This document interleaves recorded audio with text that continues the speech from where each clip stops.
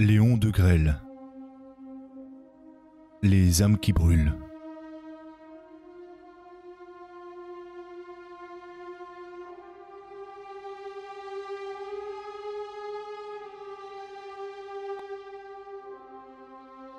Préface.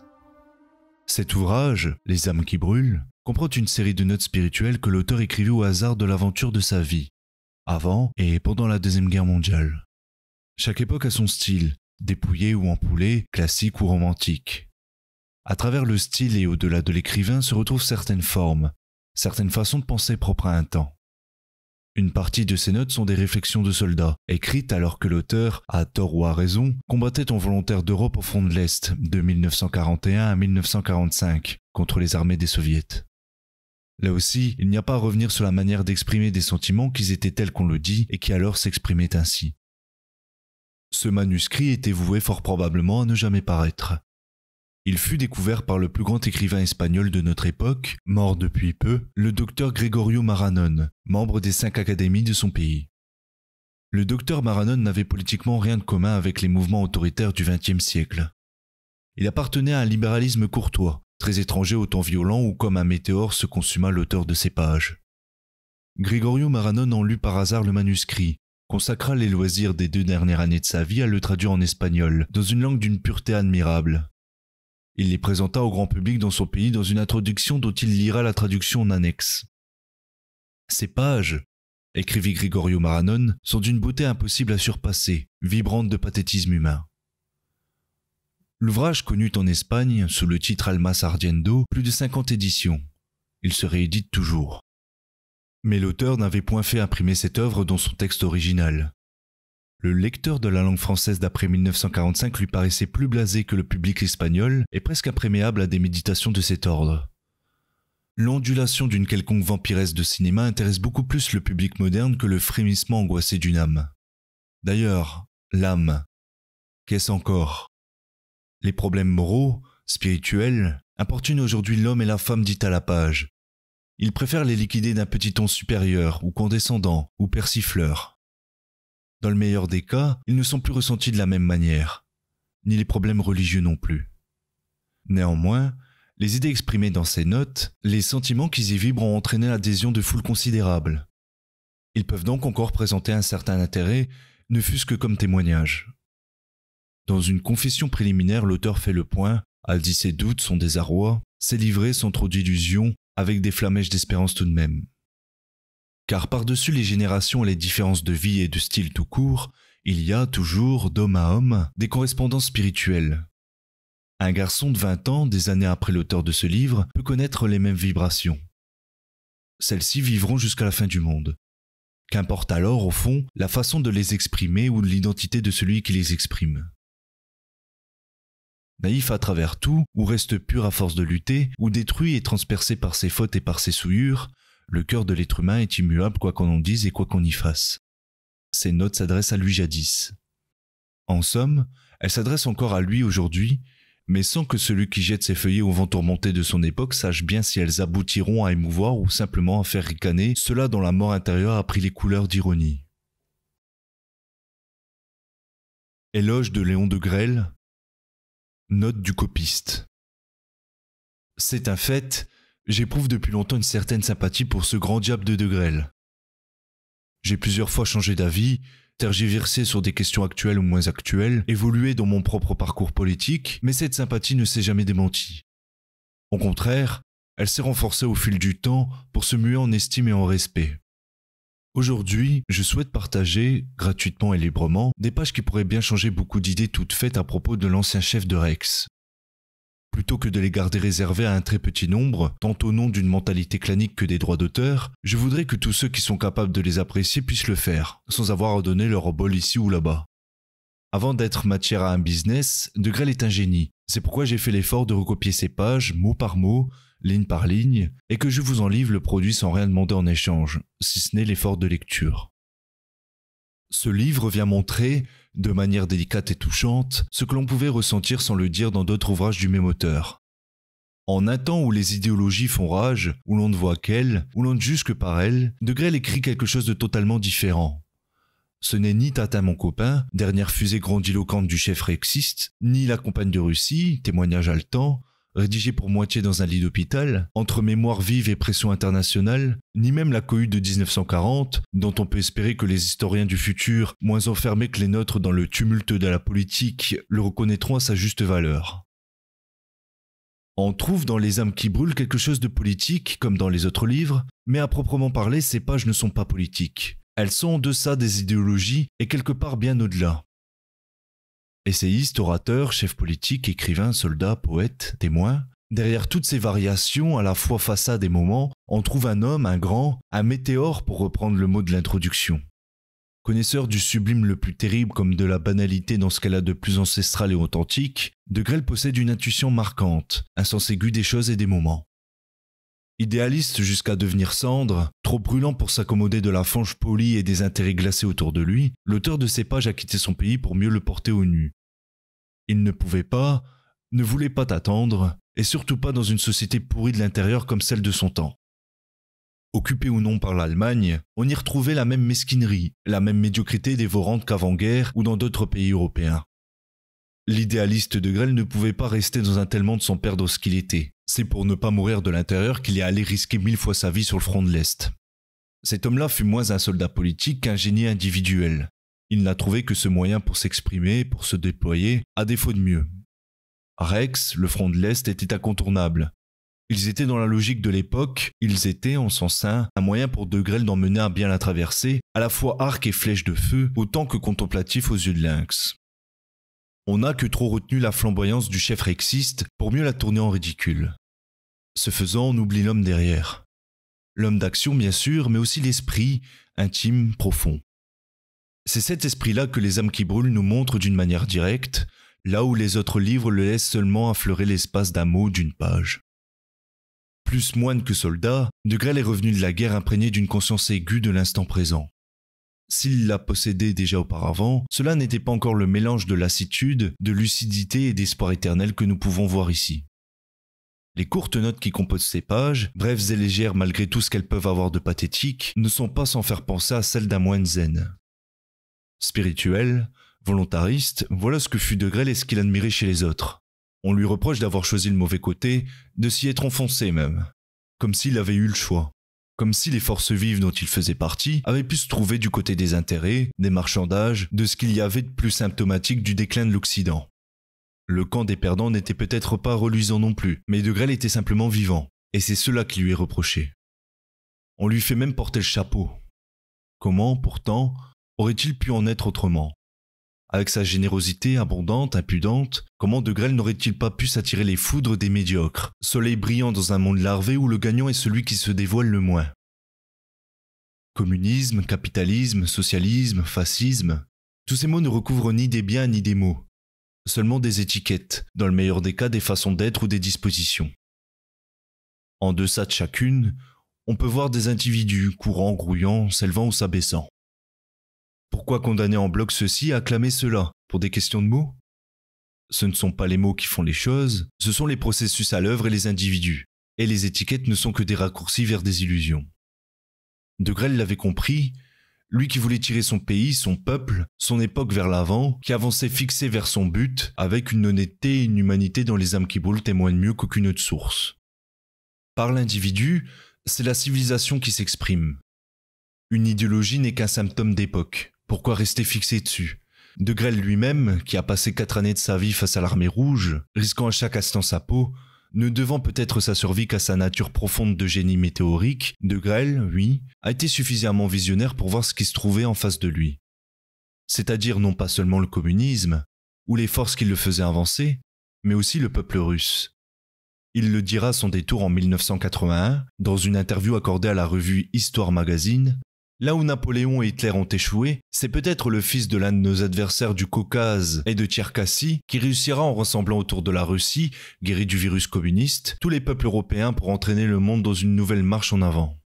Pour comprendre De Grelle et l'apprécier à sa juste valeur, il faut se défaire des ornements idéologiques. Pensez à l'échelle de l'homme individuel autant qu'à celle de la civilisation, les deux s'interpénétrant et s'entreproduisant sans cesse. Être un homme, c'est fabriquer l'homme, et nul mieux que De Grelle n'avait compris cela. Première partie. Les cœurs vides. Le feu et les cendres. Me voici arrivé presque au bout de ma course humaine. J'ai à peu près tout senti, tout connu, et surtout tout souffert. J'ai vu, ébloui, s'élever les grands feux d'or de ma jeunesse. Leur incendie illuminait mon pays. Les foules faisaient danser autour de moi des vagues étoilées de milliers de visages. Leur ferveur, leurs remous ont existé. Mais en fait, vraiment ont-ils existé? Tout cela ne fut-il pas un songe? N'ai-je pas rêvé qu'à moins de trente ans, un pays se disait mon nom et qu'à certains jours les plus lointains journaux de la planète le répétèrent? Replié dans mes tristesses d'exilé, j'arrive à ne plus croire à mon passé lui-même. Ai-je ou non vécu ces temps, connu ces passions, soulevé ces océans J'arpente mes terrasses. Ai-je jamais été un autre être que ce rêveur solitaire qui a pour vain des souvenirs, et filoché comme des brouillards de montagne? Tout cela ne fut-il pas autre chose qu'une hallucination? Je ne vois plus au loin, tout au loin, dans les lumières délavées, que des corps à la de plus en plus amincis. Ces gens qui s'effacent à jamais de l'horizon, m'ont-ils connu? M'ont-ils suivi? Les ai-je entraînés? Ai-je existé? Dans mes souvenirs comme dans mes mains, je ne sens plus glisser que du vent fugace. Mes yeux, et quels yeux dois-je avoir? Des yeux de désespéré? Mes yeux ont beau le ciel impassible, essayer de voir dans le fond des ans, dans les fonds du siècle, qu'accrocher. L'être que je suis, en quoi est-il encore l'être qui portait jadis mon nom, qui était connu, écouté, pour lequel beaucoup ont vécu, et pour lequel hélas beaucoup sont morts. Cet être, qu'a-t-il à voir encore avec l'homme qui arpente, amer, interminablement seul, quelques mètres de terre étrangère, fouillant son passé, se perdant en lui, n'y croyant plus pour finir, se demandant si c'est bien lui qui fut retourné cent fois dans les tornades d'un destin implacable, et s'il ne sort pas d'un long tunnel glacé où tout n'était que fantôme. Alors, si je doute de ma chair, de mes os, de ce qu'a forgé jadis mon action publique, si je doute de la réalité de mon passé et de la part que j'ai pu prendre à quelques années d'édification de l'histoire des hommes, que puis-je croire encore des idéaux qui naissaient en moi, qui me brûlaient, que je projetais, de la valeur de mes convictions d'alors, de mes sentiments, de ce que je pensais de l'humanité, de ce que je rêvais de créer pour elle. Chaque être humain est une succession d'êtres humains, aussi dissemblables les uns des autres que les passants dont nous scrutons dans la rue les visages disparates. À cinquante ans, en quoi ressemble-nous encore au jeune homme de vingt ans dont nous essayons de nous souvenir et dont nous voulons à tout prix être la survivance? Même sa chair n'est plus la même chair, s'en est allée, a été refaite, renouvelée. Plus un millimètre de peau n'est la peau de ces temps-là. Et l'âme alors Est-ce que nous pensions Les sentiments qui nous projetaient vers l'action? Les sentiments qui nous passaient comme des souffles de feu à travers le cœur. Même combien d'hommes distincts ne portons pas en nous, qui se combattent, qui se contredisent ou même qui s'ignorent. Nous sommes le bien et nous sommes le mal, nous sommes l'abjection et nous sommes le rêve. Nous sommes les deux, emmêlés dans des raies inextricables. Mais l'atroce du destin n'est pas là. L'atroce, c'est de rompre ses raies eux-mêmes pour jeter son âme par-dessus bord. L'atroce, c'est de devoir se dire que l'essentiel de nos vies fut caricaturé, défiguré par mille souillures et par mille reniements. Qui n'a pas connu ces débâcles? Les uns se rendent compte de leur faillite avec douleur. Les autres en font le constat avec cynisme, ou avec le sourire futé de ceux ou de celles qui ne s'en laissent pas compter, qui sont convaincus que la connaissance de l'homme et la supériorité de l'esprit consistent à avoir passé par toutes les expériences, à en avoir épuisé délibérément les sucs les plus pervers, sans étonnement excessif et sans regret postérieur, ayant trouvé, dans l'usage de la profanation de tout, l'information, la condescendance et l'équilibre d'une éthique de décomposition, libéré de tout contrepoids d'ordre spirituel. Sans doute, le monde où nous vivons est-il devenu pour une large part le monde de ces amoureux, si sûrs d'eux-mêmes, sans doute ceux qui s'acharnent à imaginer encore une humanité que de hautes vertus pourraient embellir sont-ils devenus des êtres anachroniques, des non évolués, collés à de vieilles marottes, vivant à part des hommes, à part de leur temps, à part de la mode, à part du réel. J'en suis arrivé là. J'avais rêvé d'un siècle de chevaliers, forts et nobles, se dominant avant de dominer. Dur et pur, disaient mes bannières, je me sens balourd avec mon ballot de rêve passé. Je sais que des sentiments tels que ceux que j'ai tenté d'exprimer ne se ressentent plus guère, semblent même pénibles à certains. Mais j'en ai tant vu. J'ai tant souffert qu'une amertume de plus ne me lassera pas au point où j'en suis parvenu. Ainsi, tant pis. Ces rêves, eh bien oui, je les ai eus. Ces élans, oui, je les ai portés. Cet amour des autres, oui, il m'a brûlé, il m'a consumé. J'ai voulu voir dans l'homme un cœur à aimer, à enthousiasmer, à élever, une âme qui fut-elle à demi asphyxiée par la pestilence de ses esclavages, aspirait à retrouver un souffle pur, et n'attendait parfois qu'un mot, un regard pour se dégager et pour renaître. Soyons nets. Des droits lancés à l'usage d'autrui, des considérations morales ou spirituelles, je n'en ai aucun. Je ne le sais que trop bien. J'ai eu mon lot de misère, hélas, comme tant d'autres. Et même, ne les eussé-je pas subis, on m'en a tant prêté que je n'arrive plus à ressentir en m'analysant que de la confusion et une tristesse insondable. Pourtant, les élans d'idéal qui jettent leur feu dans ce livre m'ont dévoré chaque jour de mon existence. J'eus dû, bien sûr, laisser à d'autres, moins atteints, le soin et la responsabilité de lancer de vrais champs humains baignés de lumière. Mais ce feu m'incendiait. Aujourd'hui, étouffé par un sort implacable, le grand incendie de jadis n'a laissé que descendre. J'y reviens malgré tout, obstinément, parce qu'elles évoquent les moments de ferveur de ma vie, les élans les plus profonds, la base spirituelle même de mon action. Les voilà donc, bon gré mal gré, livrés au vent qui les dispersera vite. Ces pensées, ces rêves, ne sont même pas ordonnés. Je n'ai pas fait un plan.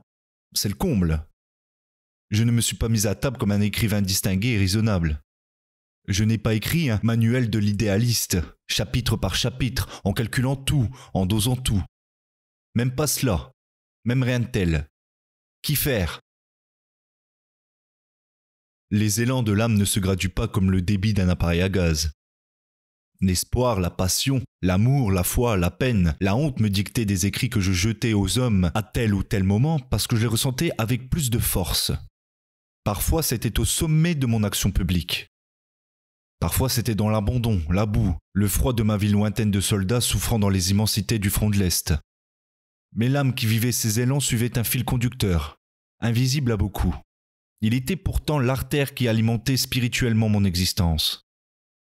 Ainsi ces notes ne sont pas tellement déjetées, elles disent les hauts et les bas d'une âme parmi les âmes, qui tout en leur haut, leur bas. Certes, l'esprit arrivé à la sagesse étale du cynisme, peut dominer en souriant les marbres glacés de son cimetière intérieur et graver sur eux ses constats avec un stylo impassible. Mais le feu, lui, a des flammes diverses, s'élève, s'abaisse, renaît, s'élance. Ce livre, c'est du feu, avec les exaltations du feu, les démesures du feu. Si au moins il pouvait en avoir la bienfaisante chaleur. Si des âmes pouvaient près de lui trouver réconfort et vigueur, comme on les trouve à méditer le soir près d'un grand feu de bois presque silencieux. Les ondes de sa puissante vie pénètrent, et leur rayonnement, et leur recueillement. Elle s'offre complètement, elle se livre complètement. Le don, le vrai don est ainsi, s'anéantissant jusqu'au dernier brandon. Ici, dans mon cas personnel, il ne s'agit plus que d'un feu mort. Ma vie s'est écrasée dans des abîmes, a été submergé par des lames de fond qui ont tout recouvert. Mais je veux croire malgré tout que ces élans qui animèrent l'action d'un homme mort déjà aux yeux de la plupart des hommes, s'il a le malheur de vivre encore pour lui-même, pourront encore rejoindre spirituellement de ci de là, dans le monde, des cœurs anxieux. Je me souviens de trois mots que j'avais déchiffrés un jour sur une tombe de marbre noir, là-bas à Dame en Flandre, dans une église de ma patrie perdue. Etsi mortuus urit. Même mort il brûle. Puis ces pages, dernier feu fugace de ce que je fus, brûlaient encore un instant, réchauffaient encore un instant des âmes par la passion de se donner et de croire, de croire malgré tout, malgré l'assurance des corrompus et des cyniques. Malgré le triste goût amer que nous laisse à l'âme le souvenir de nos chutes, la conscience de notre misère et l'immense champ de ruine morale d'un monde qui est certain de ne plus avoir de salut, qui s'en fait de gloire et qui pourtant doit être sauvé doit plus que jamais être sauvé. L'agonie du siècle. Aimer? Pourquoi? Pourquoi aimer? L'être humain s'est barricadé derrière son égoïsme et son plaisir. La vertu a délaissé son champ naturel. On se gosse des vieux rites. Les âmes étouffent, ou même elles ont été liquidées derrière les décors des habitudes et des conventions. Le bonheur est devenu, pour l'homme et pour la femme, un monceau de fruits qu'ils croquent à la hâte, ou dans lesquels ils plantent des dents rapides sans plus, pour les rejeter pêle-mêle, corps abîmés, âmes abîmées. Une fois épuisée la frénésie passagère, en quête déjà d'autres fruits plus excitants, plus pervers. L'air est chargé de tous les reniements moraux et spirituels. Les poumons aspirent en vain à une bouffée d'air pur, à la fraîcheur d'un embrase jeté au ras des sables. Les jardins intérieurs des hommes ont perdu leur couleur et leur chant d'oiseaux. L'amour lui-même ne se donne plus. Et d'ailleurs, qu'est-ce que l'amour, le plus beau mot du monde, ravalé au rang de passe-temps physique, instinctif et interchangeable? Le seul bonheur pourtant résidait dans le don, le seul bonheur qui consolait, qui enivrait comme le parfum plaigné des fruits et des feuillages de l'automne. Le bonheur n'existe que dans le don, le don complet, son désintéressement lui confie des saveurs d'éternité. Il revient aux lèvres de l'âme avec une suavité matérielle. Donner. Avoir vu des yeux qui brillent d'avoir été compris, atteints, comblés. Donner.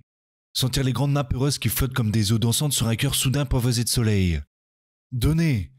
Avoir atteint les fibres secrètes qui tissent les mystères de la sensibilité. Donner. Avoir le geste qui soulage, qui enlève à la main son poids charnel, qui épuise le besoin d'être aimé. Alors le cœur devient léger comme le pollen. Son plaisir s'élève comme le chant du rossignol, voix brûlante qui nourrit les ombres. Nous ruisselons de joie. Nous avons vidé cette puissance de bonheur que nous n'avions pas reçue pour nous, qui nous encombrait, que nous devions déverser, comme la terre ne peut contenir sans fin la vie des sources et les laisse éclater sous les crocus et les jonquilles, ou dans les failles des rochers verts. Mais aujourd'hui, dans mille failles desséchées, les sources spirituelles ont cessé de jaillir. La terre ne déverse plus ce don qui l'a gonflé. Elle retient son bonheur. Elle l'étouffe. L'agonie de notre temps gît là. Le siècle ne s'effondre pas faute de soutien matériel. Jamais l'univers ne fut si riche, comblé tant de confort, aidé par une industrialisation à ce point productrice. Jamais il n'y eut tant de ressources ni de biens offerts. C'est le cœur de l'homme, et lui seul, qui est en état de faillite. C'est faute d'aimer, c'est faute de croire et de se donner, que le monde s'accable lui-même des coups qui l'assassinent. Le siècle a voulu n'être plus que le siècle des appétits. Son orgueil l'a perdu. Il a cru aux machines, au stock, au lingot, sur lequel il régnerait en maître. Il a cru tout autant à la victoire des passions charnelles projetées au-delà de toute limite. À la libération des formes les plus diverses des jouissances, sans cesse multipliées, toujours plus avilies et plus avilissantes. Dotées d'une technique qui n'est, en somme, généralement qu'une accumulation. Son grande imagination d'assez pauvres vices, d'être vidé. De ses conquêtes, ou plus exactement de ses erreurs, puis de ses chutes, l'homme n'a retiré que des plaisirs qui paraissaient suprêmement excitants au début et qui n'étaient qu'en fait que du poison, de la boue et du toc. Pour ce toc, cette boue et ce poison, pourtant, l'homme, la femme avait délaissé, avait profané à travers leurs rêves et leur corps dévastés la joie intérieure, la vraie joie, le grand soleil de la vraie joie. Les bouffées de plaisir des possessions, matière ou chair, devaient tôt ou tard s'évanouir parce qu'illusoires, viciée dès le début, vicieuse de plus en plus. Il n'est resté au cœur des vainqueurs passagers de ces enchères stériles que la passion de prendre, de prendre vite, des bouffées de colère qui les dressent contre tous les obstacles et de fades odeurs de déchéance collées à leur vie saccagée et pourrie. Vain, vidé, les mains ballantes. Ils ne voient même pas arriver l'instant où l'œuvre factice de leur temps s'effondrera. Elle s'effondrera parce qu'elle était contraire aux lois même du cœur, et, disons le grand mot, aux lois de Dieu. Lui seul, si fort qu'on en rit, donnait au monde son équilibre, orientait les passions, leur ouvrait les vannes du don complet de l'amour authentique, indiquait un sens à nos jours, quels que fussent nos bonheurs et nos malheurs. On pourra réunir toutes les conférences du monde, rassembler par troupeau les chefs d'État, les experts économiques et les champions de toutes les techniques. Ils soupèseront, ils décréteront. Mais au fond, ils échoueront car ils passeront à côté de l'essentiel. La maladie du siècle n'est pas dans le corps. Le corps est malade parce que l'âme est malade. C'est elle qu'il fallait, qu'il faudra coûte que coûte guérir et revivifier. La vraie, la grande révolution à faire est là. Révolution spirituelle. Ou faillite du siècle. Le salut du monde est dans la volonté des âmes qui croient. Vie droite. Ceux qui hésitent devant l'effort sont ceux dont l'âme est engourdie. Un grand idéal donne toujours la force de mater son corps, de souffrir la fatigue, la faim, le froid. Qu'importe les nuits blanches, le travail accablant, les soucis ou la pauvreté. L'essentiel est d'avoir au fond de son cœur une grande force qui réchauffe et qui pousse en avant, qui renoue les nerfs déliés, qui fait battre un grand coup le sang là, qui met dans les yeux le feu qui brûle et qui conquiert. Alors plus rien ne coûte. La douleur même devient joie car elle est un moyen d'élever son don, de purifier son sacrifice. La facilité endort l'idéal. Rien ne le redresse mieux que le fouet de la vie dure. Elle nous fait deviner la profondeur des devoirs à assumer, de la mission dont il faut être digne. Le reste ne compte pas. La santé n'a aucune importance. On n'est pas sur la terre pour manger à l'heure, dormir à temps, vivre cent ans ou davantage. Tout cela est vain et sot. Une seule chose compte. Avoir une vie utile, affiler son âme, être penché sur elle à chaque instant, à surveiller ses faiblesses et à exalter ses élans, servir les autres, jeter autour de soi le bonheur et la tendresse, donner le bras à son prochain pour s'élever tous en s'aidant l'un l'autre. Une fois ces devoirs accomplis, qu'est-ce que cela signifie de mourir à 30 ans ou à 100 ans? De sentir battre la fièvre aux heures où la bête humaine crie à bout d'effort Qu'elle se relève encore malgré tout. Elle est là pour donner sa force jusqu'à l'usure. Seule l'âme compte et doit dominer tout le reste. Brève ou longue, la vie ne vaut que si nous n'avons pas à rougir d'elle, à l'instant il faudra la rendre. Quand la douceur des jours nous invite, et la joie d'aimer, et la beauté d'un visage, d'un corps parfait, d'un ciel léger, et l'appel des courses lointaines, quand nous sommes prêts à céder à des lèvres, à des couleurs, à la lumière, à l'engourdissement des heures détendues, resserrons dans nos cœurs tous ces rêves au bord des évasions dorées. La véritable évasion, c'est de quitter ces chères proies sensibles, à l'instant même où leur parfum convie nos corps à défaillir. À cette heure où il faut refouler le plus tendre de soi-même et porter son amour au-dessus de son cœur, alors où tout est pénible jusqu'à la cruauté, un sacrifice commence vraiment à être entier, à être pur. Nous nous sommes dépassés, nous donnons enfin quelque chose. Avant, c'est encore nous que nous cherchions, et ce rien d'orgueil et de gloire qui corrompt tant de jaillissements venus tout d'un coup de nos âmes et utilisés au lieu d'être donnés. On nous donne pour de bon, sans calcul, car tout est passé d'un côté et plus rien n'est resté de l'autre, que lorsqu'on a d'abord tué son amour de soi. Ça ne se fait pas tout seul car la bête humaine est rétive, et nous comprenons si mal les enseignements de l'amertume. Il est doux de rêver à un idéal et de le bâtir dans sa pensée, mais c'est encore, à dire le vrai, fort peu de choses. Qu'est-ce qu'un idéal qui n'est qu'un jeu, ou mettons même un rêve très pur? Il faut le bâtir après cela, dans l'existence et chaque pierre est arrachée à nos aises, à nos joies, à notre repos, à notre cœur. Quand malgré tout l'édifice, au bout des ans, s'élève, quand on ne s'arrête pas en route, quand, après chaque pierre plus lourde à dresser, on continue, alors seulement l'idéal se met à vivre. Il ne vit que dans la mesure où nous mourrons à nous-mêmes. Quel drame au fond qu'une vie droite. Deuxième partie. Source de vie. La terre originelle.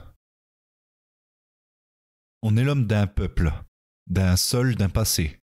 On ne peut pas le savoir, on peut essayer de l'oublier. Mais les événements se chargent vite de nous ramener aux sources de vie. Ils nous ramènent d'abord aux hommes de notre sang, honteuses ou lumineuses, la famille noue autour de nous ses liens, de plus en plus serrés et fermes avec le temps. Parfois ils étouffent, mais jamais on ne s'en débarrasse. Que le sang soit en jeu, on bondit, le sang d'avance a raison. On fait corps avec lui comme si nos veines ne constituaient qu'un organisme et que la famille n'avait qu'un seul cœur, un cœur qui projette le même sang dans chacun d'entre nous et le rappelle de toutes parts au foyer vital. Il en est de même du pays. On n'y échappe pas. La vue d'une estampe jaunie de nos cathédrales, le souvenir de l'odeur des dunes, de la couleur grise de nos coteaux, de la courbe de nos fleuves fait monter à notre gorge un amour qui nous étouffe tant il est ému en grondant.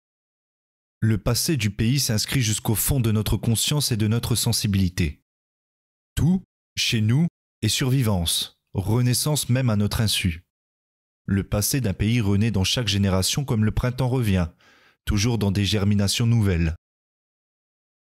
Nous avons beau être légers, courir le monde, égarer notre esprit, le sol natal envoie dans nos cœurs un fluide que nous ne créons pas et qui nous domine et il suffit de la voix d'un poste émetteur capté au pays lointain, apporté par des ondes imprécises, pour que souvenir, lien et loi se dégagent à nouveau, véritable filigrane inscrit indestructiblement dans la trame de nos jours tourmentés. le cœur et les pierres. Il faut avoir bourlingué sur les mers les plus lointaines, connu les nuits rousses des tropiques, les feux de canne à sucre, les champs des nègres, les déserts avec leurs sables rosés, leurs arbrisseaux sans feuilles, les squelettes de chevaux désossés par les vents. Il faut avoir remonté les lacs gelés et les neiges brûlantes, cueilli des mimosas sur les ruines de Carthage, des pamplemousses à la Havane, un brin d'herbe près des cannelures de l'acropole, pour aimer pleinement un pays, celui qu'on vit le premier, avec les seuls yeux lucides qui soient au monde, les yeux d'enfant. Il faut avoir connu d'autres voyages, avec ses meubles et ses hardes, ses livres, ses tableaux, son simple bien matériel. Il faut avoir été ce nomade des appartements anonymes où l'on s'assoit comme dans un train, pour connaître la passion et la nostalgie du premier de tous les paysages, de ce cadre de cœur qu'est la maison. Nous pouvons évoquer sans regret les grandes joies des terres étrangères, elle dort encore notre regard. Le jour se lève jaune et argent sur les palmiers qui longent la mer des Antilles. Le brouillard fume dans les oliviers du vallon de Delphes. Des pêcheurs rament dans la nuit bleu clair des Cyclades. La palmeraie est zébrée de soleil près des murailles rousses de Marrakech. Mais le souvenir de ces voyages errants dans ces prisons que sont les logis sans âme nous pèse et nous étouffe. Que reste-t-il, dans notre vie, de ces relais impersonnels? Les murs où l'on a, sans cœur, accroché décroché les tableaux. L'appartement voisin d'où l'on vous guette. Les bruits mêlés des téléphones. L'escalier où l'on se croise sans se connaître. La voiture cellulaire de l'ascenseur avec ses doubles barreaux. Nous regardons ce décor de vie et de mort avec des yeux ternes, chargés d'un véritable désespoir. Que nous disent ces cloisons, cette cuisine ouverte sur des cours horribles, longues de quelques mètres, sans un coin imprévu, sans un caprice, sans un feuillage naturel et sans un nid que nous disent ces lits et ces meubles placés vaille que vaille, mal à l'aise, gênés comme s'ils ne se sentaient pas chez eux, les pauvres, malheureux et nomades comme flous. Car ils ont une âme, les meubles. Ce vieux bahut qui encombre le couloir, cette caisse d'horloge qui ne résonne plus pour ne gêner personne, ont vécu jadis, ont connu jadis une vraie maison, ont eu pendant cent ans, deux cents ans, leur place, leur frôlement, leur odeur. Leurs portes battaient comme des ailes, les heures jaillissaient comme des appels. Pauvre bahut et pauvre horloge, loin du parquet ciré, de l'odeur de lavande, de l'eau qu'on jetait sur l'escalier usé, des voix voisines, du salut du soleil entré brusquement par la porte ouverte. Nous, les dépaysés modernes, traînés d'appartement en appartement dans les villes aux yeux vides, nous nous sentons un peu plus arrachés à nos cœurs chaque fois qu'il nous faut franchir un nouveau seuil, éclairer ces couloirs trop blancs, nous habituer à ces poignées, à ces volets, à cette porte qui ne tient pas, à ce gaz qui flambe trop vite, à ces autobus qui passent avec un ululement brutal qui casse l'âme. On se tait, mais on n'oublie rien. Et l'homme, comme le vieux bahut et la grande horloge, immobile, regarde et voit. La maison natale se ranime dans les souvenirs. La voilà. Un rien de feuillage éclaire la façade. Deux marches de pierre bleue, un grand balcon vigne vierge dans les jardins. Tout est à sa place. Tout a un sens, une odeur, une forme corporelle. On va à l'armoire, l'armoire, ce mot magnifique, plein, grave, parce qu'elle contient le pain et les aliments essentiels. On peut, les yeux fermés, trouver quelque chose. Ce coin sent le tabac, celui-là le chat, qui a toujours ronronné à l'endroit le plus tiède. Ce bruit, c'est la chaise du bureau où papa se lève. Ce pas, avec des arrêts, c'est la maman qui, à la salle à manger, arrose ses fleurs. Ces chambres ne sont pas des haltes, c'est la chambre au-dessus du salon, c'est la chambre au-dessus du bureau, c'est la chambre des petits, même quand ils sont devenus des hommes aux pensées lourds. Chacune de ces chambres a son histoire, a connu ses veilles, ses malades. On est descendu de celle-ci un matin en portant dans ses bras un corps chéri. Ah L'horreur de ces appartements anonymes où nos enfants sont nés ou sont morts, devant des décors de vie quittés depuis et où d'autres nomades ont, à leur tour, repris la vie saccadée, sans souvenir d'âme, sans oser même en retenir car on ne saurait où les mettre. Maison de jadis, avec tes pauvres cretonnes, ton mauvais goût parfois, cette boule de la rampe, ces photos d'enfants à la queue leu, le gros piano, la cheminée noire, la baignoire d'étain où l'on entrait l'un après l'autre. C'est pas qu'on pèse encore vingt ans plus tard rien qu'à s'en souvenir, ces souffles qu'on entend passer à nouveau près de soi, ce visage de la maman qui se ranime au loin, puis qui est là devant les yeux, presque impénétrable, et qui vous rend tout à coup si enfant qu'on voudrait te caresser de nouveau. Des appels d'immense tendresse remontent avec de lointains parfums de fleurs et de feuillages. Des chants d'eau passent au fond du jardin, dans une douceur de soleil différente à chaque endroit du monde. Tout vient de ce temps-là. Infortunés enfants, ceux qui n'auront jamais eu de maison à eux et qui n'assemblent pas ces souvenirs qui font la vie. C'est la maison qui nous pétrit. Comment aurions-nous une âme si la maison n'a point de visage, n'est qu'un masque changé à tous les carnavals des hommes? On ne peut centrer la vie que sur des cœurs et sur des pierres, le reste s'en va comme des longs trains de bois à la dérive sur les eaux d'hiver. Maison, forteresse et tendresse.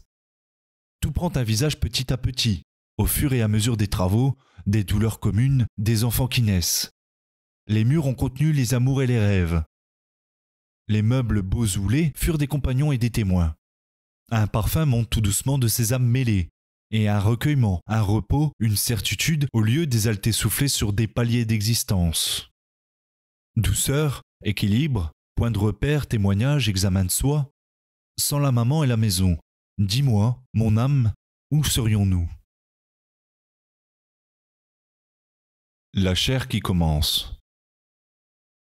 Les hommes peuvent s'abaisser, vivre dans une agitation de plus en plus frénétique, et des millions de tarés bomber le torse. La noblesse maternelle conserve parmi des milliers de cœurs naturels et vibrant son rayonnement pathétique.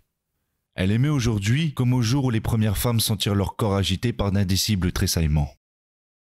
Dès cette heure-là, elles ne sont plus les mêmes.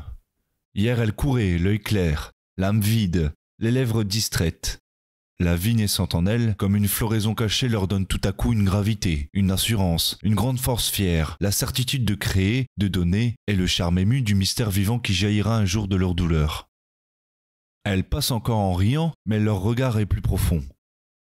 Elles portent en elles un trésor dont les palpitations se lient à leurs palpitations les plus intimes, leurs élans, leur mélancolie, ce grand idéal inavoué parfois qui les soulève ou les tourmente, les pensées et les regrets, les joies et les désirs ne font plus qu'un avec cette vie invisible à tous, présente à chaque instant pour elles, qui lui donne sang et âme dans une communion exacte de chair et de cœur.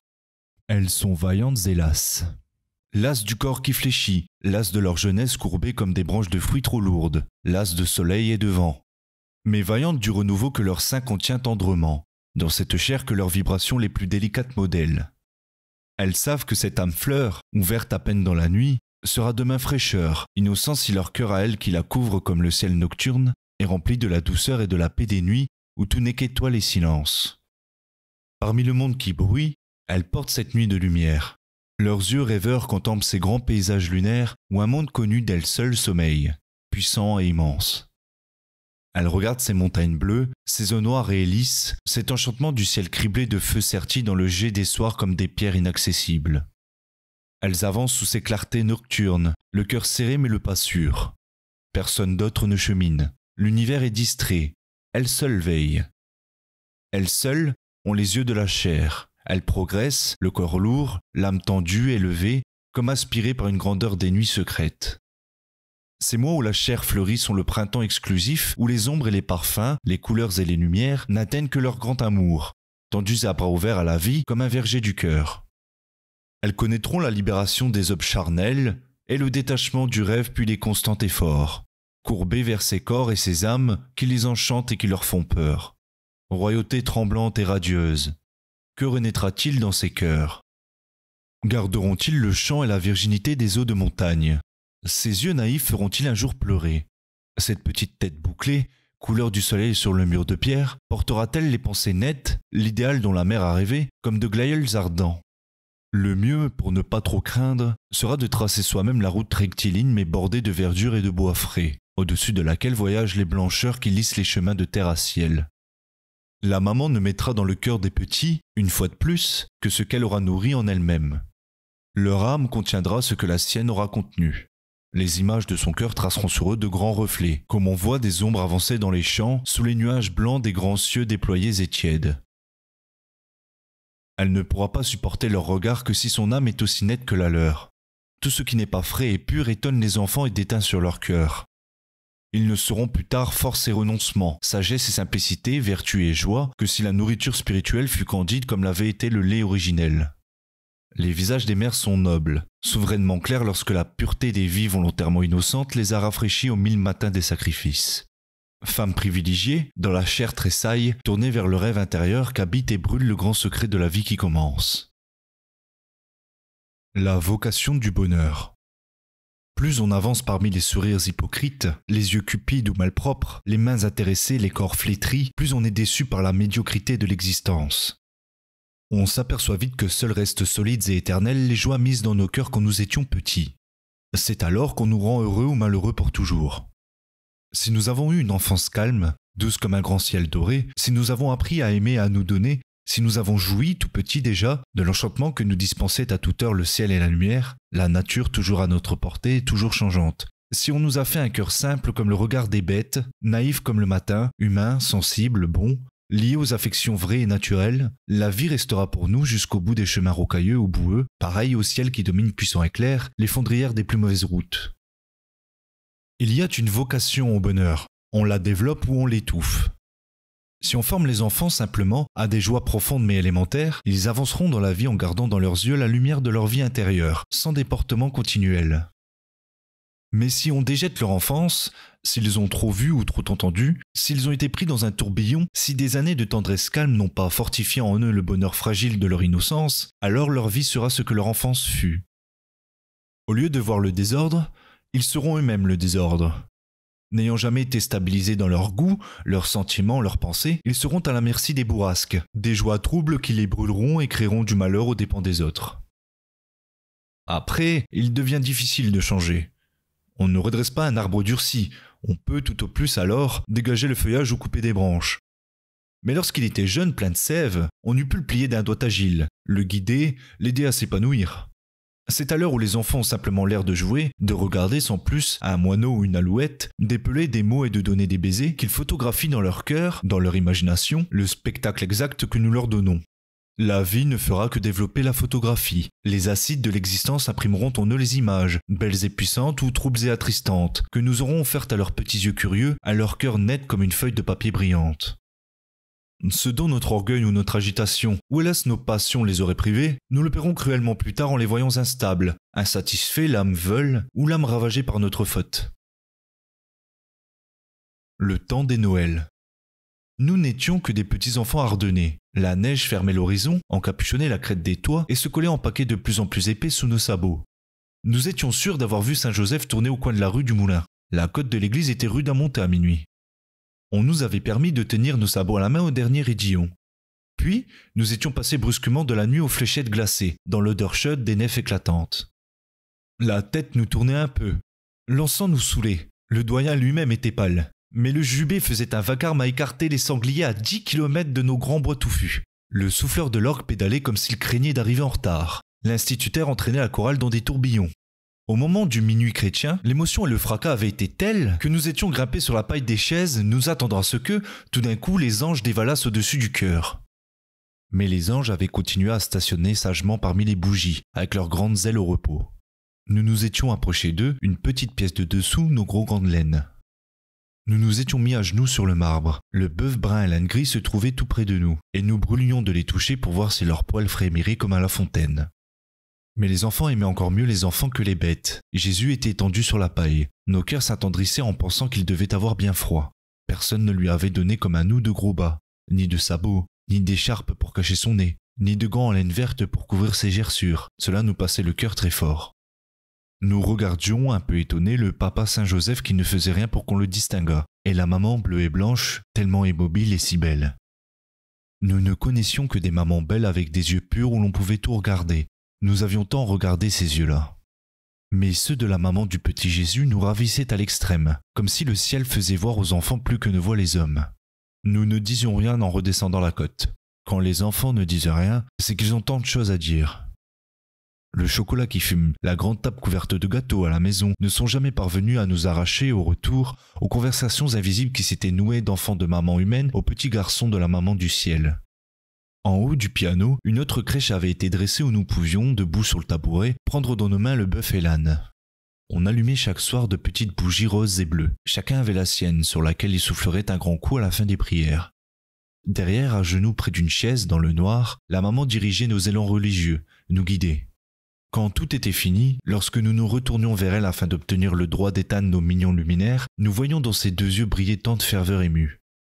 Le paradis vient dans le cœur des enfants lorsque c'est la maman qui le porte.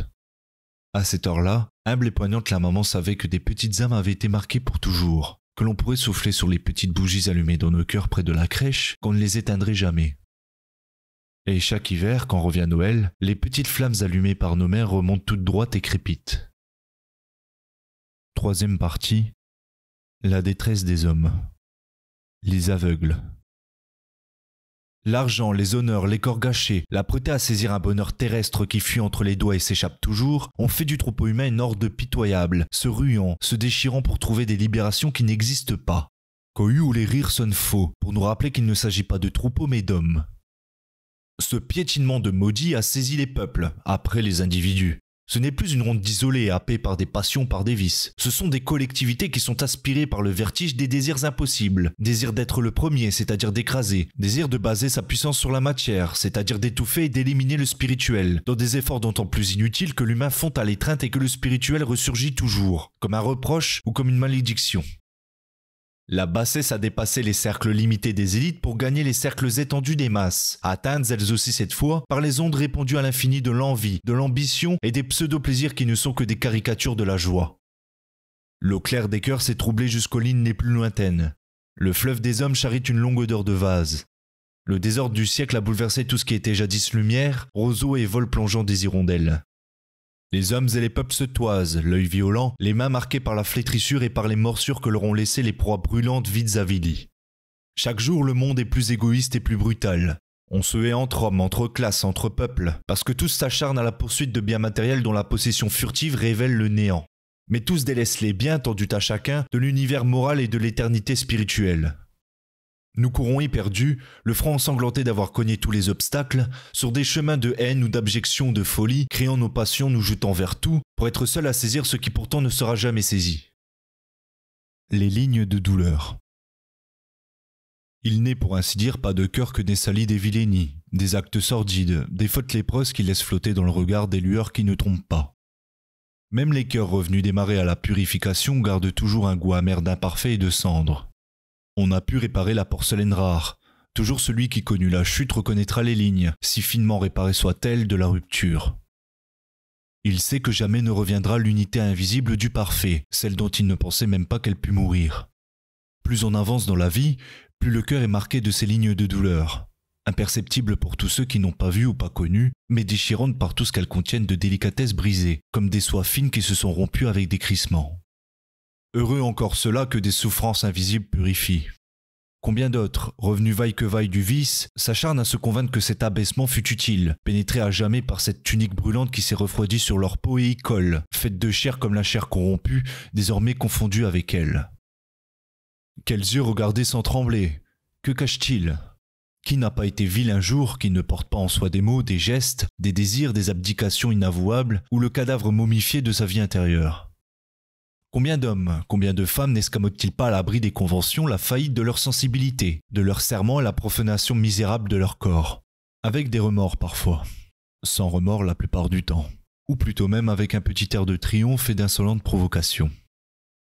Les chutes finales, celles qui ont tout liquidé, la décadence, la pudeur, le respect de soi, de son corps, de sa parole, et Dieu avec le reste, ne sont que le résultat de centaines de petits reniements préalables, niés ou camouflés au début. L'ensemble ne s'abat que lorsque les fibres innombrables du cœur ont été cisaillées l'une après l'autre parmi les subterfuges, les mauvaises raisons, suivis de multiples abandons de plus en plus irrémédiables, avec la conscience assassinée au bout des débâcles.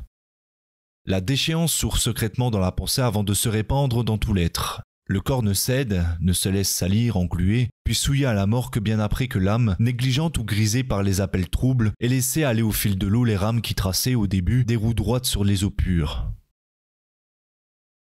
les saints.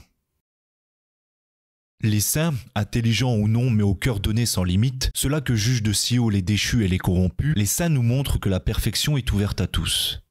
Eux aussi furent de simples hommes, de simples femmes chargées de passions, de faiblesses et souvent de fautes. Eux aussi ont dû parfois se lasser, céder, se dire qu'ils n'arriveraient jamais à se débarrasser de cette odeur de boue et de péché qui nous accompagne. Mais ils n'ont pourtant pas renoncé. À chaque chute, ils se sont redressés, décidés à être d'autant plus vigilants qu'ils se sentaient plus faibles. La vertu n'est pas un éblouissement soudain, mais une lente, dure et parfois très pénible conquête. Ils ont eu la joie surhumaine de se sentir enfin vainqueurs de leur corps et de leurs pensées. Leur lutte nous dit que le bonheur, sur terre et au-delà de la terre, est à la portée de chacun. Chacun a une volonté pour s'en servir. Avant le corps, c'est l'esprit qui gagne ou qui capitule. Et même lorsque le corps a cédé, l'esprit peut le relever ou le laisser se corrompre davantage encore, puis s'empoisonner à jamais. Nous sommes nos maîtres. Nous pouvons également nous abîmer dans les gouffres, ou les côtoyer, ou les remonter et les dépasser. Tout peut être évité et tout peut être fait. L'éternelle crucifixion. Face aux ironies méprisantes des joueurs et des sceptiques, on ose à peine rappeler que, depuis 2000 ans, le plus grand des drames humains, celui de la passion, se répète spirituellement à chaque printemps. Qui va souffrir? Qui va se trouver là près du calvaise en ces nouveaux jours d'agonie Dans le désert du temps se dresse la croix. La vie banale ou louche ou perverse des hommes continuera à s'écouler comme un fleuve terne. Le Christ recevra les coups et les épines. Il s'écroulera sur le sol. Le bois de la croix écrasera sa chair. On le plantera à grands coups de marteau sur l'arbre dur. Ils ont percé mes mains et mes pieds, ils ont compté tous mes os. Quand sera le monde? Son sang descendra lentement sur son corps blémi, ses yeux chercheront à la fois son Père et nos âmes. Qu'auront-elles compris, nos âmes, à cette tragédie?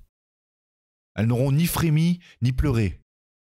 Elles n'auront même pas pensé, même pas vu. Le Christ meurt bien seul, tout seul.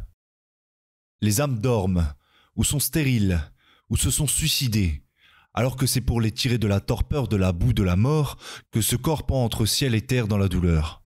La détresse de ce cœur lance en vain les cris de désespoir qui devraient glacer le monde et arrêter le souffle des hommes. C'est pourtant à cause de son étouffement spirituel que déchoit le monde. C'est d'espérance, de charité, de justice, d'humilité que le monde a besoin pour retrouver un peu d'air. Cette vie spirituelle, nous en avons reçu le dépôt. Nous en sommes les porteurs. Et nos mains sont ballantes, et nos yeux sont secs, et nos lèvres ne tremblent point de ferveur et d'émoi. Nos cœurs sont pareils au sable sec. Nos âmes sont au point mort où elles sont mortes. La foi ne vaut qu'en tant qu'elle conquiert, l'amour qu'en tant qu'il brûle, la charité qu'en tant qu'elle sauve. Personne. Un palmier tremble. Le sable glisse entre les doigts bronzés d'un enfant. Des agnelets marqués de sang se cognent à petits coups de front têtu. Des ânes minuscules, l'œil mouillé, déboulent de la colline. Le paysage de Pâques est net, brillant. L'air est encore frais, des marguerites s'éparpillent encore sur le coteau. Pourquoi le Christ souffre-t-il à nouveau la plus déchirante des agonies en ces jours où des brassées de mimosa ensoleillent le tournant des routes? Ces routes-là, claires et tièdes, le ramènent chaque année, douloureux et muets, vers les clous les épines, vers le sang et vers les crachats. Seigneur, nous vous suivons dans ce cortège poussiéreux, mêlés à ces pêcheurs rudes et lâches qui vous aimaient, mais qui vous aimaient comme nous, avec mesure comme si la mesure n'était pas une insulte à votre amour. Nous sommes près d'eux, pas plus mauvais que d'autres, l'œil rayonnant parfois de la joie de vous servir. Nous écartons les intrus, nous agitons les palmes, nous croyons être tout près de votre cœur. Tout cela nous donne une trop bonne opinion de nous-mêmes. Dans vos yeux tristes, c'est notre vanité que nous projetons. Et à l'heure de l'agonie, parce que notre anneau d'amour n'était qu'un fil, nous restons loin de vos blessures, de vos sueurs de sang et de ce grand cri glacé qui va transpercer la terre. Seigneur, nous revenons près de vos pieds bleuis. Nous serrons ce bois de la croix entre nos bras qui tremblent. Comment oser lever les yeux vers votre tête en sang? Nous n'osons faire autre chose que de vous tendre nos cœurs consternés. Il eût été si doux de vous donner nos âmes dans un élan total, d'être avec vous depuis le jardin des oliviers jusqu'à ce monticule où vous restez inerte dans le vent du soir. Nous n'avons même pas eu le sort du bon larron, de celui-là qui vous aima le dernier, qui vous lança ce regard éperdu qui plongeait dans le ciel. Nous subissons l'accablement de nos faiblesses, de nos lâchetés et de nos tiédeurs. Seigneur, vous nous apportiez l'essentiel et l'éternel, le pain et le breuvage, le souffle et le soleil. Vous animiez nos cœurs, vous nous donniez la force. Nous eussions dû bondir, léger, le cœur en fête, libéré à tout jamais de tout lien, de tout regret, de tout espoir. Nous sommes restés peureux dans l'ombre d'une porte ou sous un olivier brillant. Vous passiez écrasé, accablé d'insultes. Ah mon Dieu, en ces minutes de douleur et de salut, nous n'avions point saisi la croix. Nous n'avons pas baisé vos plaies et vos épines, mis en fuite vos bourreaux, brisé leurs fouets, écrasé leurs injures. Nous n'avons pas su aimer. À l'heure du don total, nos cœurs étaient sans vie. Mon Dieu, vous êtes là abandonnés de tous, muets et tristes, les membres raidis, il n'y a eu personne. Personne. Nous serrons le bois de la mort et nous laissons, sans relever la tête, s'écraser à vos pieds la défaite de nos cœurs. Vous reviendrez dans la lumière, Seigneur. À cette heure-là, ayez pitié des âmes détruites, ayez pitié des âmes vides. Nous souffrons tellement de nous sentir si mesquins et si vils, si imbus de nous-mêmes, si préoccupés de nos égoïsmes, de nos ambitions, de nos vanités. Nous vous avons laissé souffrir, nous avons vu couler votre sang, planter votre croix, s'éteindre votre visage. Oserons-nous jamais regarder en face vos plaies ouvertes et vos yeux là? Seigneur, l'heure est proche, votre lumière va brusquement éclater sur la colline. Nous serons là quand même, honteux et tristes. Brûlez nos cœurs de votre douceur fulgurante, donnez-nous la chaleur et la pureté de ce feu divin d'où vous allez jaillir. Nous sommes accablés au seuil de votre tombeau. Seigneur, faites fleurir en nos âmes vaincus l'étincelle de la résurrection. Avoir mal aimé. Dans le ciel glacé d'un or pâle, frémissait une alouette. À quoi pensait-elle là-haut? Elle vibrait, elle poussait des cris stridents, pâmés à chaque seconde, s'accrochant au ciel par un battement d'ailes qui passait comme un éclair. Elle aimait pour aimer, jusqu'au moment où rompue, brisée de bonheur, elle s'abattit comme un caillou dans un sillon. L'âme monte ainsi en flèche.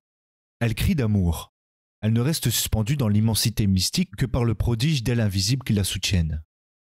Elle ne sait même plus qu'elle peut tomber, que le sol est sous elle. Elle est là détachée de tout, vie frémissante, palpitante comme aspirée. L'alouette pâmée sur la terre chaude doit, elle aussi, ressentir cette grande joie de l'amour comblé. L'âme est pantelante.